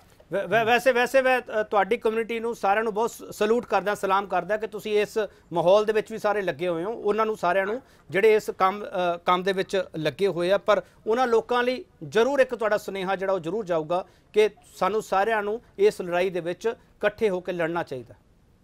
ਸਾਰੇ ਡਾਕਟਰ ਜਿਹੜੇ ਹੈਗੇ ਨੇ, ਦੇਖੋ, ਇਸ ਕੰਮ ਦੇ ਵਿੱਚ ਲੱਗੇ ਹੋਏ ਨੇ। ਇਹ ਨਹੀਂ ਮੈਂ ਕਹਾਂਗਾ ਬਹੁਤ ਡਾਕਟਰ ਲੱਗੇ ਹੋਏ ਨੇ ਪੀਜੀਆਈ ਦੇ ਵਿੱਚ ਬਹੁਤ ਡਾਕਟਰ ਦਿਨ ਰਾਤ ਰੱਬ ਦਾ ਰੂਪ ਰੱਬ ਦਾ ਰੂਪ ਬਣਿਆ ਹੋਇਆ ਇਸ ਟਾਈਮ ਲੋਕ ਕਿਉਂ ਰੱਬ ਮੰਨ ਰਹੇ ਉਹਨਾਂ ਨੂੰ? ਉਹ ਸੇਵਾ ਕਰ ਰਹੇ ਨੇ। ਮੈਕਸਿਮਮ ਡਾਕਟਰਸ ਕੰਮ ਕਰ ਰਹੇ ਨੇ ਬਾਕੀ ਜਿਹੜੇ ਨਹੀਂ ਕਰ ਰਹੇ ਨੇ ਉਹਨਾਂ ਦੇ ਖਿਲਾਫ ਮੈਂ ਜ਼ਰੂਰ ਥੋੜਾ ਬੋਲਾਂਗਾ। ਬਾਕੀ ਡਾਕਟਰਸ ਸਾਰੇ ਡਾਕਟਰਸ ਡਾਕਟਰਸ ਇਕੱਲੇ ਨਹੀਂ ਡਾਕਟਰ ਇਕੱਲਾ ਕੁਝ ਨਹੀਂ ਕਰ ਸਕਦਾ। Nurses sweeping staff. ਜਿਹੜਾ ਇਨਕਾਰਨੇਸ਼ਨ ਜਿਹੜਾ ਸਮਾਨ ਚੱਕ ਕੇ ਲੈ ਕੇ ਜਾਂਦਾ ਹੈ ਗੰਦਗੀ ਉਥੋਂ ਦੀ ਹਸਪੀਟਲ ਤੋਂ ਉਹ ਜਿਹੜਾ ਪੈਰਾਮੈਡਿਕ ਸਟਾਫ ਹੈਗਾ ਇਹ ਸਾਰੇ ਸਟਾਫ ਮਿਲ ਕੇ ਇਹ ਕੰਮ ਜਿਹੜੇ ਬਿਮਾਰੀ ਨੂੰ ਪਕੜ ਰਹੇ ਨੇ ਡਾਕਟਰ ਤੋਂ ਜ਼ਿਆਦਾ ਡਾਕਟਰ ਕੁਝ ਇਕੱਲਾ ਕੁਝ ਨਹੀਂ ਕਰ ਸਕਦਾ ਤਾਂ ਪੈਰਾਮੈਡੀਕਲ ਸਟਾਫ ਕੰਮ ਨਾ ਕਰੇ। ਨਰਸਿਸ ਨੂੰ ਆਪਾਂ ਪਿੱਛੇ ਨਹੀਂ ਰੱਖਣਾ। ਬਹੁਤ ਬਹੁਤ ਵੱਡਾ ਕੰਮ ਰੋਲ ਹੈ ਉਹਨਾਂ ਦਾ। ਬਿਲਕੁਲ। ਤੇ ਡਾਕਟਰ ਸਾਹਿਬ ਜਿਹੜੇ ਇਹ ਰੱਬ ਦਾ ਰੂਪ ਨੇ ਜਿਹੜਾ ਇਹ ਰੱਬ ਦਾ ਦੂਜਾ ਰੂਪ ਜਿਸ ਨੂੰ ਇਸ ਵੇਲੇ ਮਨਾਇਆ ਰਿਹਾ ਕਿਉਂਕਿ ਰੱਬ ਦੇ ਦਰ ਤਾਂ ਸਾਰੇ ਬੰਦ ਨੇ। ਸੋਸ਼ਲ ਡਿਸਟੈਂਸਿੰਗ ਕਰਕੇ ਲੋਕਡਾਊਨ ਕਰਕੇ ਸਭ ਬੰਦ ਨੇ। ਇਸ ਵੇਲੇ ਇਹੀ ਕਿਹਾ ਜਾ ਰਿਹਾ ਕਿ ਡਾਕਟਰ ਹੀ ਰੱਬ ਨੇ। ਪਰ ਸਾਡੇ ਮੁਲਕ ਦੇ ਵਿੱਚ ਕਈ ਹਿੱਸਿਆਂ ਤੋਂ ਡਾਕਟਰਾਂ ਦੀ ਅਜਿਹੀਆਂ ਵੀ ਤਸਵੀਰਾਂ ਸਾਹਮਣੇ ਆਈਆਂ ਜਿੱਥੇ ਰੱਬ ਨੂੰ ਵੀ ਹੱਥ ਖੜੇ ਕਰਨੇ ਪਏ ਨੇ ਕਿ ਮੇਰੇ ਕੋਲ ਇਕਵਿਪਮੈਂਟ ਨਹੀਂ ਹੈਗੇ ਮੈਂ ਇਲਾਜ ਕਿਵੇਂ ਕਰਾਂ ਉਹ ਕਿੱਥੇ ਜਾਣ ਫਿਰ? ਦੇਖੋ ਉੱਥੇ ਜਿੱਥੇ ਤੱਕ ਦੇਖੋ ਇਹ ਗੱਲ ਆ ਗਈ ਜਿੱਥੇ ਕਰੋਨਾ ਦੀ ਗੱਲ ਕਰਦਾ ਹੈ। ਜਿਹੜੇ ਆਮ ਛੋਟੇ ਕਲੀਨਿਕ ਨੇ ਉਹਨਾਂ ਕੋਲ ਤਾਂ ਇਸ ਤਰ੍ਹਾਂ ਦੀ ਕੋਈ ਦੇਖੋ ਇਹਦੀ ਟ੍ਰੀਟਮੈਂਟ ਤਾਂ ਹੈ ਨਹੀਂ। ਉਹ ਤਾਂ ਦੇਖੋ ਇਹ ਟ੍ਰੀਟਮੈਂਟ ਕਰਦੇ ਉਹ ਰੈਫਰ ਹੀ ਕਰ ਸਕਦੇ ਆ। ਬਟ। ਉਹ ਜਿਹੜੀ ਜਿਹੜੀ ਸਟਾਰਟਿੰਗ ਵਾਲੀ ਜਿਹੜੀ ਉਹ ਪੀਪੀ ਪਾ ਕੇ ਜਿਹੜੀ ਇਨਵੈਸਟੀਗੇਸ਼ਨ ਜਨਰਲ ਪ੍ਰੈਕਟਿਸ਼ਨਰ ਨੇ ਦੱਸਣਾ ਹੈ ਨਾ ਕਿ ਇਹ ਕੇਸ ਜਿਹੜਾ ਹੈਗਾ ਕਰੋਨਾ ਸਸਪੈਕਟ ਹੈ। ਉਹ। ਸਸਪੈਕਟ ਕਿਵੇਂ ਬਣਦਾ ਹੈ? ਅਗਰ ਉਹ ਬੰਦਾ ਜਾਂ ਉਹਦੇ ਰਿਸ਼ਤੇਦਾਰ ਬਾਹਰੋਂ ਆਏ ਹੋਣਗੇ ਤਾਂ ਉਹ ਸਸਪੈਕਟ ਬਣਦਾ ਹੈ। ਅਗਰ ਉਹ ਸਸਪੈਕਟ ਬਣਦਾ ਹੈ ਤੇ ਉਹ ਅੱਗੇ ਵੱਡੇ ਹਸਪੀਟਲ ਦੇ ਵਿੱਚ ਰੈਫਰ ਕਰੇਗਾ ਵੱਡਾ ਹਸਪੀਟਲ ਦੇਖੇਗਾ ਜਿਹੜਾ ਛੋਟਾ ਡਾਕਟਰ ਹੈਗਾ ਛੋਟੇ ਜਿਹੜੇ ਕਲੀਨਿਕ ਹੈਗੇ ਨੇ ਉਹਨਾਂ ਕੋਲ ਇਸ ਤਰ੍ਹਾਂ ਦੀ ਕੋਈ ਫੈਸਿਲਿਟੀ ਇਹਦੀ ਨਹੀਂ ਹੈਗੀ ਡਾਕਟਰ ਸਾਹਿਬ ਡਾਕਟਰ ਸਾਹਿਬ ਇੱਕ ਸਵਾਲ ਹੋਰ ਮੈਂ ਜ਼ਰੂਰ ਲੈਣਾ ਚਾਹੁੰਦਾ। ਦੇਸ਼ ਦਾ। ਸਾਡਾ ਹੈਲਥ ਸਿਸਟਮ ਹੈ ਉਹ ਸਾਨੂੰ ਡਿਪਰੈਸ਼ਨ ਵੱਲ ਤਾਂ ਨਹੀਂ ਲੈ ਕੇ ਚਲਾ ਜਾਊਗਾ। ਨਹੀਂ ਇਸ ਤਰ੍ਹਾਂ ਤਾਂ ਕੁਝ ਨਹੀਂ ਹੈ ਭਾਜੀ। ਦੇਖੋ ਐਸਾ ਰਿਪੋਰਟਾਂ ਕਈ ਆ ਰਹੀਆਂ ਨੇ ਤੇ ਪੋਜ਼ਿਟਿਵ ਰਿਪੋਰਟਾਂ ਵੀ ਆ ਰਹੀਆਂ ਦੇਖੋ ਤੁਸੀਂ ਆਪਾਂ ਨੈਗੇਟਿਵਿਟੀ ਤੇ ਚੱਲ ਰਹੇ ਹਾਂ। ਅਸੀਂ ਇਹ ਨਹੀਂ ਸਮਝ ਰਹੇ ਕਿ 97% 97.5% ਠੀਕ ਵੀ ਕਰ ਰਹੇ ਆ ਡਾਕਟਰ ਤੁਸੀਂ ਇੱਥੇ ਕਿਉਂ ਨਹੀਂ ਜ਼ੋਰ ਪਾਉਂਦੇ ਰਿਪੋਰਟ ਤੋਂ? ਤੁਸੀਂ 2.5% ਨੂੰ ਲੈ ਕੇ ਅਸੀਂ ਇਹਨਾਂ ਮਤਲਬ ਆਪਾਂ ਡਿਪਰੈਸ਼ਨ ਜਾ ਰਹੇ ਆ ਅਸੀਂ ਇਹ ਖੁਸ਼ ਕਿਉਂ ਨਹੀਂ ਹੁੰਦੇ ਕਿ 97% 97.5% ਲੋਕੀ ਠੀਕ ਵੀ ਤਾਂ ਹੋ ਰਹੇ ਆ ਭਾਈ। ਉਹ ਕੋਈ ਚੱਕਰ ਨਹੀਂ ਹੈ। ਜਿਹੜੇ ਜਿਹੜਿਆਂ ਦੀ ਇਮਿਊਨਿਟੀ ਘੱਟ ਹੈ ਜਿਨ੍ਹਾਂ ਦੀ ਉਮਰ ਜ਼ਿਆਦਾ ਨੇ ਜਿਹੜਾ ਮਤਲਬ ਕਿ ਹੋਰ ਕ੍ਰੋਨਿਕ ਬਿਮਾਰੀਆਂ ਤੋਂ ਮਤਲਬ ਹੈਗੀਆਂ ਉਹਨਾਂ ਨੂੰ ਉਹ ਲੋਕਾਂ ਦੀ ਫਰਟੀਲਿਟੀ ਆ ਰਹੀ ਹੈ। ਤੇ ਅਸੀਂ ਨੈਗੇਟਿਵਿਟੀ ਦੇਖੋ 2.5% ਕਿੱਥੇ ਥੋੜਾ ਜਿਹਾ ਹੈਗਾ ਹਿੱਸਾ 97% ਕਿੱਥੇ ਜਾਂਦਾ ਹੈਗਾ। ਅਸੀਂ 97 ਨੂੰ ਨਾ ਦੇਖ ਕੇ ਅਸੀਂ ਸਾਰੀ ਨੈਗੇਟਿਵਿਟੀ 2.5 ਤੇ ਪਾਈ ਹੋਈ ਹੈ। ਤੇ ਉਹ 2.5 ਵਾਲੇ ਨੂੰ ਆਪਾਂ ਨਾ ਸੋਚਦੇ ਹੋਏ ਅਸੀਂ 97 ਦੇਖ ਕੇ ਥੋੜਾ ਜਿਹਾ ਇੱਕ ਆਪਾਂ ਰਹਿਮ ਕਰ ਸਕਦੇ ਹਾਂ ਖੁਸ਼ ਰਹਿ ਸਕਦੇ ਤੁਹਾਡੇ ਢਾਈ ਵਾਲੇ ਸਵਾਲ ਨੇ ਸਰ ਬਹੁਤ ਸਾਰੇ ਸ਼ੰਕੇ ਦੂਰ ਕੀਤੇ। ਹਾਂਜੀ। ਟਾਈ ਟਾਈ ਦੇ ਵਿੱਚ ਦੇਖੋ ਇਸ ਤਰ੍ਹਾਂ ਹੈ ਨਾ ਕਿ ਹੁਣ ਟਾਈ ਦੇ ਵਿੱਚ ਜਿਹੜੇ ਜਿਹੜੇ ਬੰਦੇ ਹੁਣ ਇਸ ਤਰ੍ਹਾਂ ਕ੍ਰੋਨਿਕ ਬਿਮਾਰੀਆਂ ਹੈਗੀਆਂ ਕਿਡਨੀ ਫੇਲਿਅਰ ਦੀ ਪ੍ਰੋਬਲਮ ਹੈਗੀ ਹੈ ਹਾਰਟ ਦੀ ਪ੍ਰੋਬਲਮ ਹੈਗੀ ਹੈ ਡਾਇਬੀਟੀਜ਼ ਦੀ ਪ੍ਰੋਬਲਮ ਹੈਗੀ ਹੈ ਕ੍ਰੋਨਿਕ ਪ੍ਰੋਬਲਮ ਹੈਗੀ ਹੈ ਜਾਂ ਇਮਿਊਨਿਟੀ ਬਹੁਤ ਲੋ ਹੈਗੀ ਹੈ। ਤੇ ਹੁਣ WHO ਨੇ ਮੈਂ ਸੁਣ ਰਿਹਾ ਸੀ ਕੱਲ ਪਰਸੋਂ ਇਹ ਵੀ ਕਿਹਾ ਸੀਗਾ ਕਿ ਜਿਹੜੇ ਜਿਹੜੇ ਐਡੋਲੋਸੈਂਟ ਹੈਗੇ ਜਿਹੜੇ ਜਵਾਨ ਬੰਦੇ ਹੈਗੇ ਆ ਉਹ ਵੀ ਇਸ ਬਿਮਾਰੀ ਤੋਂ ਡਰ ਕੇ ਰਹਿਣ। ਹੂੰ। ਹੁਣ 2.5% ਦੇ ਵਿੱਚ ਸਾਰੇ ਬੰਦੇ ਆਂਦੇ ਨੇ। ਇਹ ਪਹਿਲੇ ਆ ਰਿਹਾ ਸੀਗਾ ਕਿ ਬੁੱਢਿਆਂ ਨੂੰ ਇਹ ਘੇਰਦੀ ਪਈ ਬਿਮਾਰੀ। ਲੇਕਿਨ। ਮੈਂ ਕੱਲ ਉਹਦੇ ਪ੍ਰੈਜ਼ੀਡੈਂਟ ਦੀ ਗੱਲ ਸੁਣ ਰਿਹਾ ਸੀਗਾ WHO ਦੀ ਉਹ ਕਹਿ ਰਿਹਾ ਸੀਗਾ ਕਿ ਜਿਹੜੇ ਜਿਹੜੇ 20 25 30 ਸਾਲ ਦੇ ਬੱਚੇ ਵੀ ਹੈਗੇ ਨੇ ਉਹ ਵੀ ਇਹਦੇ ਵਿੱਚ ਘੇਰ ਵਿੱਚ ਆ ਰਹੇ ਨੇ ਹੁਣ ਮਿਊਟੇਸ਼ਨ ਦੇ ਨਾਲ। ਤੇ ਇਸ ਕਰਕੇ ਸਾਰਿਆਂ ਨੂੰ ਇਹਦੇ 'ਚ ਚਿੰਤਾ ਕਰਨੀ ਚਾਹੀਦੀ ਹੈ ਇਹਦੇ ਸਾਰਾ ਧਿਆਨ ਰੱਖਣਾ ਚਾਹੀਦਾ। ਬਿਲਕੁਲ ਕਿਉਂਕਿ ਸਾਡੇ ਮੁਲਕ ਵਿੱਚ ਵੀ ਜਿਹੜਾ ਡਾਟਾਬੇਸ ਹੈ ਹੈਲਥ ਮਿਨਿਸਟਰੀ ਨੇ ਜਾਰੀ ਕੀਤਾ ਉਹਨਾਂ ਨੇ ਵੀ ਕਿਹਾ ਕਿ 40 ਤੋਂ 60 ਦੇ ਵਿਚਾਲੇ ਜਿਹੜਾ ਹੈਗਾ ਉਹ ਹਾਂਜੀ। 40 ਤੋਂ 60 ਦੇ ਵਿਚਾਲੇ ਜਿਹੜੇ ਲੋਕ ਨੇ ਉਹ ਹਾਂਜੀ। 30-40% ਦੇ ਕਰੀਬ ਅਜਿਹੇ ਨੇ ਜਿਹੜੇ ਲੋਕ 40 ਤੋਂ 60 ਦੀ ਏਜ ਦੇ ਵਿਚਾਲੇ ਨੇ ਤੇ ਜਿਹਨਾਂ ਉਹ 40 ਤੋਂ ਘੱਟ ਵਾਲੇ ਨੇ 40 ਤੋਂ 60 ਵਾਲੇ ਵੀ ਜਿਹੜੇ ਨੇ ਉਸ ਦੇ ਵਿੱਚ ਸ਼ਾਮਿਲ ਨੇ ਸੋ ਕਿਤੇ ਨਾ ਕਿਤੇ ਲੋਕਾਂ ਨੂੰ ਇਹ ਸੋਚਣਾ ਹੋਏਗਾ ਸੋਚਣਾ ਹੈ ਪਰ ਟੈਨਸ਼ਨ ਨਹੀਂ ਲੈਣੀ ਹੈ ਇੰਨਾ ਵੀ ਨਹੀਂ ਸੋਚਣਾ ਕਿ ਉਹ ਸੋਚ ਤੁਹਾਡੇ ਜ਼ਿਹਨ ਤੇ ਭਾਰੂ ਹੋ ਜਾਵੇ। ਲਗਾਤਾਰ ਇੱਕੋ ਗੱਲ ਨੂੰ ਸੋਚਦੇ ਰਹੋ। ਜੇ ਡਾਕਟਰ ਸਾਹਿਬ ਨੇ ਗੱਲ ਕਹੀ ਪੋਜ਼ਿਟਿਵਿਟੀ ਵੱਲ ਜਿਹੜਾ ਹੈਗਾ ਜਾਣਾ ਹੈ। ਪੋਜ਼ਿਟਿਵਿਟੀ ਵੱਲ ਜਾਣ ਦੇ ਨਾਲ ਨਾਲ ਇਹ ਵੀ ਸਮਝਾਂਗੇ ਕਿ ਸਾਇੰਟੀਫਿਕ ਰੀਜ਼ਨ ਕੀ ਹੈਗਾ ਪੋਜ਼ਿਟਿਵਿਟੀ ਵੱਲ ਜਾਣ ਦਾ। ਔਰ ਜਦੋਂ ਅਸੀਂ ਇਹ ਕਹਿੰਦੇ ਹਾਂ ਕਿ ਰੱਬ ਦਾ ਨਾਮ ਲੈਣਾ ਚਾਹੀਦਾ ਹੈ ਉਸ ਦੇ ਨਾਲ ਕਿਹੋ ਜਿਹਾ ਔਰਾ ਸਾਡੇ ਨਾਲ ਕ੍ਰੀਏਟ ਹੁੰਦਾ ਹੈ। ਛੋਟੇ ਬ੍ਰੇਕ ਤੋਂ ਬਾਅਦ ਛੇਤੀ ਵਾਪਸ ਆ। ਸਵਾਲ ਇੱਕੋ ਪੁੱਛ ਰਿਹਾ ਕਿ ਕਰੋਨਾ ਵਾਇਰਸ ਦੇ ਨਾਂ ਤੇ ਤੁਸੀਂ ਟੈਨਸ਼ਨ ਕਿਉਂ ਲੈ ਰਹੇ ਹੋ? ਇਸ ਸਵਾਲ ਦਾ ਜਵਾਬ ਲੱਭਣ ਦੀ ਕੋਸ਼ਿਸ਼ ਕਰਿਆ ਤੇ ਜਿਹੜੇ ਲਸਣ ਦੀਆਂ ਗੰਢੀਆਂ ਖਾਣ ਵਾਲੀ ਗੱਲ ਹੋ ਰਹੀ ਸੀਗੀ ਟੈਨਸ਼ਨ ਜਿਹੜੇ ਜ਼ਿਆਦਾ ਲੈ ਰਹੇ ਹੈ ਉਹ ਜ਼ਿਆਦਾ ਜਿਹੜੇ ਹੈਗੇ ਗੰਢੀਆਂ ਖਾ ਰਹੇ ਇਸ ਵੇਲੇ। ਹਾਂ ਡਾਕਟਰ ਸਾਹਿਬ ਕੋਲ ਇਹੀ ਸਵਾਲ ਲੈ ਕੇ ਚੱਲਦੇ ਹਾਂ। ਡਾਕਟਰ ਸਾਹਿਬ ਮੇਰੀ ਆਵਾਜ਼ ਪਹੁੰਚ ਰਹੀ ਤੁਹਾਡੇ ਤੱਕ? ਹਾਂਜੀ ਹਾਂਜੀ ਆ ਰਹੀ ਹੈ। ਡਾਕਟਰ ਸਾਹਿਬ ਬਹੁਤ ਲੋਕ ਲਸਣ ਦੀਆਂ ਗੰਢੀਆਂ ਖਾਣ ਲੱਗ ਪਏ। ਮੈਂ ਕੱਲ ਪਰਸੋਂ ਵੀ ਚਰਚਾ ਕਰ ਰਿਹਾ ਸੀਗਾ ਤੇ ਇੱਕ ਚਾਈਨਾ ਦੇ ਵਿੱਚ ਇੱਕ ਔਰਤ ਨੇ 1.5 ਕਿਲੋ ਲਸਣ ਖਾ ਲਿਆ ਉਹਦੀ ਜੀਭ ਸੁੱਜ ਗਈ। ਇਹ ਵੀ ਟੈਨਸ਼ਨ ਦਾ ਹਿੱਸਾ? ਹੈ ਹਾਂ ਟੈਨਸ਼ਨ ਹੀ ਹੈ। ਕੁਝ ਸੋਸ਼ਲ ਮੀਡੀਆ ਵੀ ਹੈਗਾ ਵਿੱਚ। ਇੱਕ ਮੈਂ ਦੇਖਿਆ ਸੀ ਇੰਡੀਆ ਦੇ ਵਿੱਚ ਇੱਕ ਲੇਡੀ ਉਹ ਪਿਆਜ਼ ਖਵਾ ਰਹੀ ਸੀ ਨੂਨ ਦੇ ਨਾਲ। ਠੀਕ ਹੈ ਨਾ। ਤੇ ਇਹ ਸਭ ਮਤਲਬ ਮਿਥਸ ਹੈਗੀਆਂ ਇਹ ਕੁਝ ਨਹੀਂ ਹੈਗਾ। ਕਿ ਹੁਣ ਪਿਆਜ਼ ਦੇਖੋ ਹੁਣ ਪਿਆਜ਼ ਹੈ ਇਹਦੇ ਵਿੱਚ ਐਂਟੀਬਾਇਓਟਿਕਸ ਐਂਟੀਬਾਇਓਟਿਕਸ ਪ੍ਰੋਪਰਟੀਆਂ ਹੈਗੀਆਂ। ਜਿਹੜਾ ਲਸਣ ਹੈਗਾ ਇਹ ਐਂਟੀ ਕੋਲੇਸਟ੍ਰੋਲ ਹੈ ਤੁਸੀਂ ਹੁਣ ਇੰਨੇ ਇੰਨੇ ਕਿਲੋ ਕਿਲੋ ਖਾ ਲੋਗੇ ਤਾਂ ਇਹ ਨੁਕਸਾਨ ਕਰੇਗਾ ਹੀ। ਤੇ ਬਾਕੀ ਇਹਦਾ ਕਰੋਨਾ ਦੇ ਨਾਲ ਕੋਈ ਲੈਣ ਦੇਣ ਨਹੀਂ ਹੈਗਾ। ਇਹ ਸਾਰੇ ਮਿਥਸ ਹੈਗੇ ਆ ਨਾ ਲਸਣ ਨੇ ਕੰਮ ਕਰਨਾ ਇੱਥੇ ਨਾ ਪਿਆਜ਼ ਨੇ ਕੰਮ ਕਰਨਾ। ਅਰੇ ਡਾਕਟਰ ਸਾਹਿਬ ਬ੍ਰੇਕ ਵਿੱਚ ਜੋ ਤੁਸੀਂ ਆਪਣੇ ਲਾਈਫ ਪਾਰਟਨਰ ਦੇ ਨਾਲ ਗੱਲ ਕਰ ਰਹੇ ਸੀ ਅਸੀਂ ਵੇਖ ਵੀ ਰਹੇ ਸੀ। ਇਹ ਸਵਾਲ ਇਸ ਕਰਕੇ ਪੁੱਛ ਰਿਹਾ ਕਿਉਂਕਿ ਬਹੁਤ ਸਾਰੇ ਲੋਕ ਇਸ ਵੇਲੇ ਲਾਈਫ ਪਾਰਟਨਰ ਦੇ ਨਾਲ ਗੱਲ ਕਰਕੇ ਖਤਰੇ 'ਚ ਪੈ ਜਾਂਦੇ ਵੀ ਅਸੀਂ ਡਿਪਰੈਸ਼ਨ ਵਿੱਚ ਤਾਂ ਨਹੀਂ ਚੱਲ ਜਾਾਂਗੇ। ਨਹੀਂ ਨਹੀਂ ਇਸ ਤਰ੍ਹਾਂ ਕੁਝ ਨਹੀਂ ਹੈ। ਤੁਸੀਂ ਆਪਣੇ ਲਾਈਫ ਲਾਈਫ ਪਾਰਟਨਰ ਦਾ ਮਤਲਬ ਕੀ ਹੁੰਦਾ ਉਸ ਵੇਲੇ ਕੀ ਕੁਝ ਧਿਆਨ ਰੱਖਿਆ ਜਾਵੇ? ਨਹੀਂ ਇਸ ਤਰ੍ਹਾਂ ਕੁਝ ਨਹੀਂ ਹੈ। ਲਾਈਫ ਪਾਰਟਨਰ ਦੇ ਨਾਲ ਦੇਖੋ ਤੁਸੀਂ ਅਗਰ ਕੁਝ ਪ੍ਰੋਬਲਮ ਹੈ ਹੀ ਨਹੀਂ ਤਾਂ ਕੋਈ ਧਿਆਨ ਰੱਖਣ ਦੀ ਕੀ ਲੋੜ ਹੈਗੀ? ਕੁਝ ਨਹੀਂ ਹੈ। ਇੰਨਾ ਇੰਨਾ ਡਰੋ ਨਾ ਇੰਨਾ ਨਾ ਡਰੋ ਤੁਸੀਂ। ਕਿ ਆਪਣੀ ਫੈਮਿਲੀ ਤੋਂ ਹੀ ਦੂਰ ਹੋ ਜਾਓ ਆਪਣੇ ਬੱਚਿਆਂ ਨੂੰ ਦੂਰ ਕਰ ਦਿਓ। ਇੰਨਾ ਸੋਸ਼ਲ ਡਿਸਟੈਂਸ ਦੀ ਕੋਈ ਲੋੜ ਨਹੀਂ ਹੈਗੀ। ਆਪਣੀ ਫੈਮਿਲੀ ਦੇ ਨਾਲ ਚੰਗਾ ਟਾਈਮ ਬਿਤਾਓ ਖੇਡੋ। ਜੋ ਮਰਜ਼ੀ ਕਰੋ ਤੁਸੀਂ ਲੁੱਡੋ ਖੇਡੋ ਕੈਰਮ ਬੋਰਡ ਖੇਡੋ ਫੈਮਿਲੀ ਨਾਲ ਰੋਟੀ ਖਾਓ ਕੋਈ ਐਸੀ ਗੱਲ ਨਹੀਂ ਇੰਨਾ ਡਰ ਨਹੀਂ ਹੈਗਾ ਜਦ ਤੱਕ ਉਹਦਾ ਕੋਈ ਲਿੰਕ ਕਿਸੇ ਐਪੀ ਸੈਂਟਰ ਦੇ ਨਾਲ ਪੇਸ਼ੈਂਟ ਦਾ ਨਹੀਂ ਹੈਗਾ ਤਦ ਤੱਕ ਸੋਸ਼ਲ ਡਿਸਟੈਂਸਿੰਗ ਦੀ ਘਰ ਦੇ ਵਿੱਚ ਇੱਕ ਫੈਮਿਲੀ ਦੇ ਵਿੱਚ ਇੱਕ ਘਰ ਦੇ ਵਿੱਚ ਕੋਈ ਜ਼ਰੂਰਤ ਨਹੀਂ ਹੈਗੀ ਚੱਲੇਗਾ ਕੰਮ। ਅੱਛਾ ਇੱਕ ਸਵਾਲ ਹੋ ਰਿਹਾ ਛੋਟਾ ਜਿਹਾ ਡਾਕਟਰ ਸਾਹਿਬ ਕਿ ਛੋਟੇ ਛੋਟੇ ਬੱਚੇ ਜਿਹੜੇ ਹੁੰਦੇ ਆ ਇਸ ਚੇਂਜਿੰਗ ਮੌਸਮ ਦੇ ਵਿੱਚ ਉਹਨਾਂ ਨੂੰ ਜੇਕਰ ਕੋਈ ਪ੍ਰੋਬਲਮ ਹੁੰਦੀ ਹੈ ਲਾਈਕ ਫੀਵਰ ਦੀ ਪ੍ਰੋਬਲਮ ਹੋ ਗਈ ਜਾਂ ਫਲੂ ਦੀ ਪ੍ਰੋਬਲਮ ਹੋ ਗਈ ਉਹਨਾਂ ਨੂੰ ਲੈ ਕੇ ਅਸੀਂ ਕਿਵੇਂ ਬਿਹੇਵ ਕਰੀਏ? ਦੇਖੋ ਇਹਦਾ ਸੀਜ਼ਨਲ ਹੈ। ਜਦ ਵੀ ਸਰਦੀ ਜਾਂਦੀ ਹੈ ਗਰਮੀ ਆਂਦੀ ਹੈ ਇਹਦਾ ਉਹ ਨਾਰਮਲ ਹੈ ਕਿ ਜਿਹੜਾ ਨਾਰਮਲ ਫਲੂ ਜਾਂ ਹੁੰਦਾ ਹੈ ਕੋਲਡ ਹੁੰਦਾ ਹੈ ਚੇਂਜ ਆਫ ਸੀਜ਼ਨ ਕਹਿ ਲਓ ਤੁਸੀਂ ਬੱਚੇ ਸਵੈਟਰ ਲਾ ਦਿੰਦੇ ਆ ਕਦੀ ਪਾ ਲੈਂਦੇ ਆ ਕਦੀ ਜਰਾਬ ਲਾ ਲਈ ਕਦੀ ਪਾ ਲਈ ਇਹ ਤਾਂ ਨਾਰਮਲ ਚੀਜ਼ਾਂ ਨੇ। ਇਹਨਾਂ ਨਾਲ ਇਹਨਾਂ ਨੂੰ ਤੁਸੀਂ ਇਹ ਹੁਣ ਖਾਂਸੀ ਜ਼ੁਕਾਮ ਨੂੰ ਉਹ ਕਰੋਨਾ ਨਾਲ ਨਾ ਜੋੜੋ। ਮੈਂ ਦੁਬਾਰਾ ਬੋਲ ਰਿਹਾ ਹਾਂ ਕਿ ਜਦ ਤੱਕ ਕੋਈ ਵੀ ਬੰਦੇ ਦਾ ਫਿਲਹਾਲ ਕੋਈ ਐਪੀਸੈਂਟਰ ਨਾਲ ਲਿੰਕ ਨਹੀਂ ਹੈਗਾ ਇਹ ਛੋਟੇ ਮੋਟੀ ਖਾਂਸੀ ਜ਼ੁਕਾਮ ਤੇ ਪੇਟ ਖਰਾਬ ਦੇ ਨਾਲ ਕੋਈ ਡਰਨ ਦੀ ਲੋੜ ਨਹੀਂ ਹੈਗੀ ਇੰਨਾ ਕੋਈ ਖਤਰਾ ਨਹੀਂ ਹੈਗਾ। ਆਪਾਂ ਘਰੋਂ ਬਾਹਰ ਨਿਕਲਦੇ ਆ ਤਾਂ ਥੋੜਾ ਜਿਹਾ ਤੁਸੀਂ ਦੇਖ ਕੇ ਜਾਣਾ ਹੈ ਕਿ ਸੋਸ਼ਲ ਡਿਸਟੈਂਸ ਮੇਨਟੇਨ ਕਰਨਾ ਹੈ। ਘਰ ਦੇ ਵਿੱਚ ਛੋਟੇ ਬੱਚਿਆਂ ਨੂੰ ਇਸ ਤਰ੍ਹਾਂ ਖਾਂਸੀ ਜ਼ੁਕਾਮ ਹੁੰਦੀ ਹੈ ਨਾਰਮਲ ਟ੍ਰੀਟਮੈਂਟ ਡਾਕਟਰ ਕੋਲ ਜਾਓ ਲੈ ਦੇਗਾ ਉਹ ਠੀਕ ਹੋ ਜਾਏਗਾ ਡਾਕਟਰ ਸਾਹਿਬ ਇੱਕ ਚੀਜ਼ ਜ਼ਰੂਰ ਸਮ- ਸਮਝਣਾ ਚਾਹੁੰਦਾ ਤੁਹਾਡੇ ਕੋਲ। ਜਿਹੜਾ ਅਸੀਂ ਆਮ ਆਪਣੇ ਘਰਾਂ ਦੇ ਵਿੱਚ ਵਿਚਰਦੇ ਹਾਂ ਵਾਰ-ਵਾਰ ਦਰਵਾਜ਼ਾ ਖੋਲ ਕੇ ਕੀ ਦੇਖਦੇ ਹਾਂ? ਉਹ ਟੈਨਸ਼ਨ ਦਾ ਹਿੱਸਾ ਤਾਂ ਨਹੀਂ? ਬਿਲਕੁਲ ਟੈਨਸ਼ਨ ਦਾ ਹਿੱਸਾ ਹੈ। ਲੋਕਾਂ ਨੂੰ ਲੱਗਦਾ ਕਿ ਕਰੋਨਾ ਮੇਰਾ ਬੂਹਾ ਖੜਕਾ ਰਿਹਾ ਹੈ। ਮੈਨੂੰ ਤਾਂ ਹੀ। ਲੱਗਦਾ ਕਿ ਬੂਹਾ ਖੋਲਾਂਗਾ ਕਰੋਨਾ ਚਿਮੜ ਜਾਏਗਾ ਮੈਨੂੰ। ਸਰ ਕੁਝ ਲੋਕ ਕੁਝ ਲੋਕ ਸਰ ਚੌਂਕਾਂ ਦੇ ਵਿੱਚ ਪੁਲਿਸ ਨੂੰ ਚੈੱਕ ਕਰਨ ਚਲੇ ਜਾਂਦੇ ਪੁਲਿਸ ਕਰਦੀ ਕਰ ਕੀ ਰਹੀ ਹੈ ਇੱਥੇ? ਉਹਦਾ ਮਤਲਬ ਕੀ ਹੈ ਸਰ? ਪੁਲਿਸ ਕੀ ਕਰ ਰਹੀ ਹੈ ਲੋਕੀ ਕੀ ਕਰ ਰਹੇ ਹੈ। ਦੇਖੋ ਕਰੋਨਾ ਨੇ ਤੁਹਾਡੇ ਘਰ ਬੂਹਾ ਖੜਕਾਉਣ ਨਹੀਂ ਆਣਾ ਤੁਸੀਂ ਜਾਣਾ ਹੈ ਬਾਹਰ ਪੰਗੇ ਲੈਣ ਵਾਸਤੇ। ਠੀਕ ਹੈ ਨਾ? ਲਾਕਡਾਊਨ ਦਾ ਮਤਲਬ ਕੀ ਹੁੰਦਾ ਹੈ? ਘਰ ਚ ਰਹੋ ਹੁਣ ਤੁਸੀਂ ਘਰ ਚ ਰਹਿ ਕੇ ਬੂਹੇ ਖੋਲ ਖੋਲ ਕੇ ਦੇਖੋਗੇ ਤਾਂ ਉਹਦਾ ਕੋਈ ਸੈਂਸ ਨਹੀਂ ਬਣਦੀ ਟੈਨਸ਼ਨ ਦਾ ਹੀ ਪਾਰਟ ਹੈ। ਤੇ ਬਾਕੀ ਤੁਸੀਂ ਬਾਹਰ ਨਿਕਲਦੇ ਹੋ ਉਹ ਤੁਹਾਨੂੰ ਖਤਰਾ ਪਾ ਦੇਗਾ ਬਾਈ। ਉੱਥੇ ਤੁਸੀਂ ਆਪਣਾ ਸੋਸ਼ਲ ਡਿਸਟੈਂਸ ਰੱਖੋ ਆਪਣੇ ਹਾਈਜੀਨ ਹੈਂਡ ਹਾਈਜੀਨ ਰੱਖੋ। ਇੱਕ ਲੋਕਾਂ ਨੂੰ ਗੰਦੀ ਆਦਤ ਹੈ ਹੱਥ ਨੂੰ ਮੂੰਹ ਤੇ ਲਾਈ ਜਾਂਦੇ ਬਾਰ-ਬਾਰ। ਕਦੀ ਪੁੱਛਾ ਸਾਫ਼ ਕਰੀ ਜਾਂਦੇ ਆ ਕਦੀ ਬਾਲ ਸਿੱਧੇ ਕਰੀ ਜਾਂਦੇ ਆ। ਇਹ ਚੀਜ਼ਾਂ ਨੂੰ ਸਾਨੂੰ ਫਿਲਹਾਲ ਇਹ ਚੀਜ਼ਾਂ ਛੱਡਣੀਆਂ ਪੈਣਗੀਆਂ ਹੱਥ ਦਾ ਨਹੀਂ ਸਰ ਜਿਵੇਂ। ਅਸੀਂ ਬੈਠੇ ਹਾਂ ਜਿਵੇਂ ਅਸੀਂ ਬੈਠੇ ਹਾਂ ਤੁਸੀਂ ਸਾਫ਼ ਸੁਥਰੀ ਜਗ੍ਹਾ ਤੇ ਬੈਠੇ ਹੋ ਇੱਥੇ ਵੀ ਪੂਰਾ ਸੈਨੀਟਾਈਜ਼ ਕੀਤਾ ਹੋਇਆ। ਜੇ ਮੇਰਾ ਮੇਰਾ ਮੇਰਾ ਹੱਥ ਵਾਰ-ਵਾਰ ਆਪਣੇ ਮੂੰਹ ਨੂੰ ਲੱਗੂਗਾ ਸਾਨੂੰ ਵੀ ਦਿੱਕਤ। ਆਊਗੀ? ਦੇਖੋ ਇਸ ਤਰ੍ਹਾਂ ਦੇਖੋ ਆਪਾਂ ਘਰ 'ਚ ਬੈਠੇ ਆ ਇਸ ਤਰ੍ਹਾਂ। ਘਰ 'ਚ ਬਹਿ ਕੇ ਹੱਥ ਮੂੰਹ ਤੇ ਲੱਗੇ ਕੋਈ ਚੱਕਰ ਨਹੀਂ। ਆਪਾਂ ਬਾਹਰ ਨਿਕਲਦੇ ਆ ਜਾਂ ਅਸੀਂ ਮਾਰਕੀਟ 'ਚ ਜਾਂਦੇ ਆ।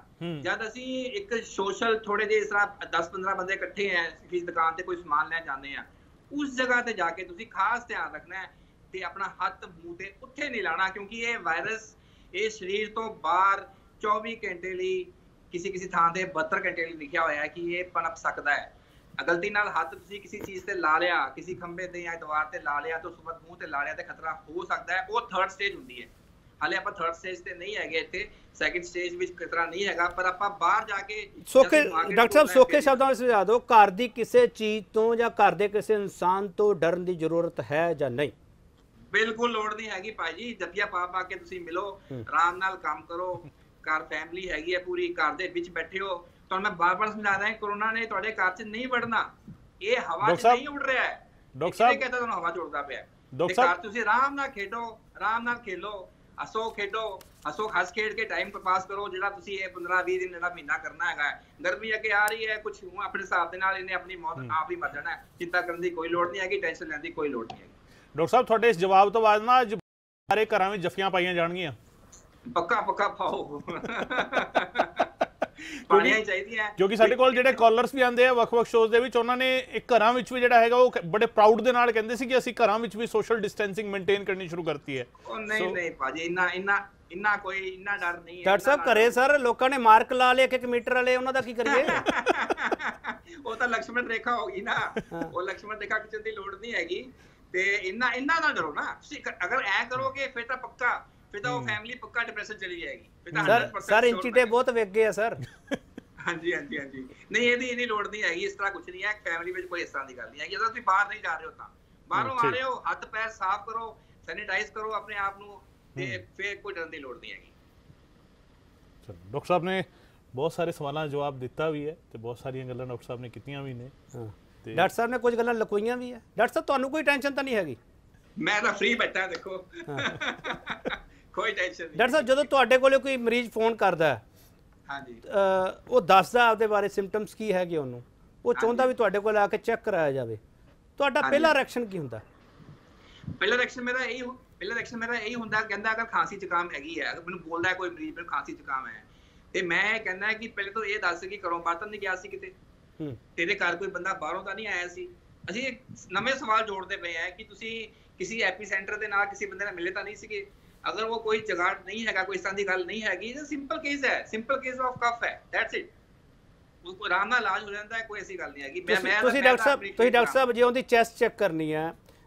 ਜਾਂ ਤੁਸੀਂ ਜੋ ਵੀ ਚੀਜ਼ਾਂ ਚੈੱਕ ਕਰਦੇ ਹੋ ਸਵਾਲ ਇਹ ਹੈਗਾ ਤੁਸੀਂ 1 ਮੀਟਰ ਦੀ ਦੂਰੀ ਤੋਂ ਚੈੱਕ ਕਰ ਰਹੇ ਹੋ ਨਹੀਂ ਪਹਿਲੇ ਅਸੀਂ ਦੇਖੋ ਅਸੀਂ ਪਹਿਲੇ ਪੁੱਛਦੇ ਆ ਉਹਨੂੰ ਧਿਆਨ ਦੇ ਨਾਲ ਕਿ ਤੂੰ ਕਿਸੇ ਦਾ ਲਿੰਕ ਤਾਂ ਨਹੀਂ ਹੈਗਾ ਠੀਕ ਹੈ ਅਗਰ ਉਹਦੀ ਚੈਸਟ ਕੰਜੈਸ਼ਨ ਦੇਖਣੀ ਹੈ ਅਗਰ ਤੁਹਾਨੂੰ ਲੱਗ ਰਿਹਾ ਹੈ ਅਸੀਂ ਦੇਖੋ ਹੁਣ ਥੋੜਾ ਜਿਹਾ ਅਵੋਇਡ ਕੀਤਾ ਹੈ ਕਿ ਚੈਸਟ ਨੂੰ ਇਸ ਤਰ੍ਹਾਂ ਆਪਾਂ ਪਹਿਲੇ ਬਾਰ-ਬਾਰ ਚੈੱਕ ਕਰ ਲੈਂਦੇ ਸੀਗੇ ਕਿ ਆਪਾਂ ਪੁੱਛਦੇ ਆ ਪਹਿਲੇ ਕਿ ਅਕਿਊਟ ਕੇਸ ਹੈਗਾ ਹੈ ਤਾਂ ਚੈੱਕ ਕਰੀਦੀ ਹੈ। ਉਹ ਵਾਲਾ ਥੋੜਾ ਜਿਹਾ ਪਾਰਟ ਮੈਂ ਕਹਿ ਸਕਦਾ ਕਿ ਅਸੀਂ ਥੋੜਾ ਜਿਹਾ ਉਹ ਵਾਲਾ ਪਾਰਟ ਘਟਾਇਆ ਹੈ ਮੈਂ doctor. Doctor sir doctor precaution ਲੈ ਰਹੇ ਆ ਜਾਂ ਟੈਨਸ਼ਨ ਚ ਹੈ?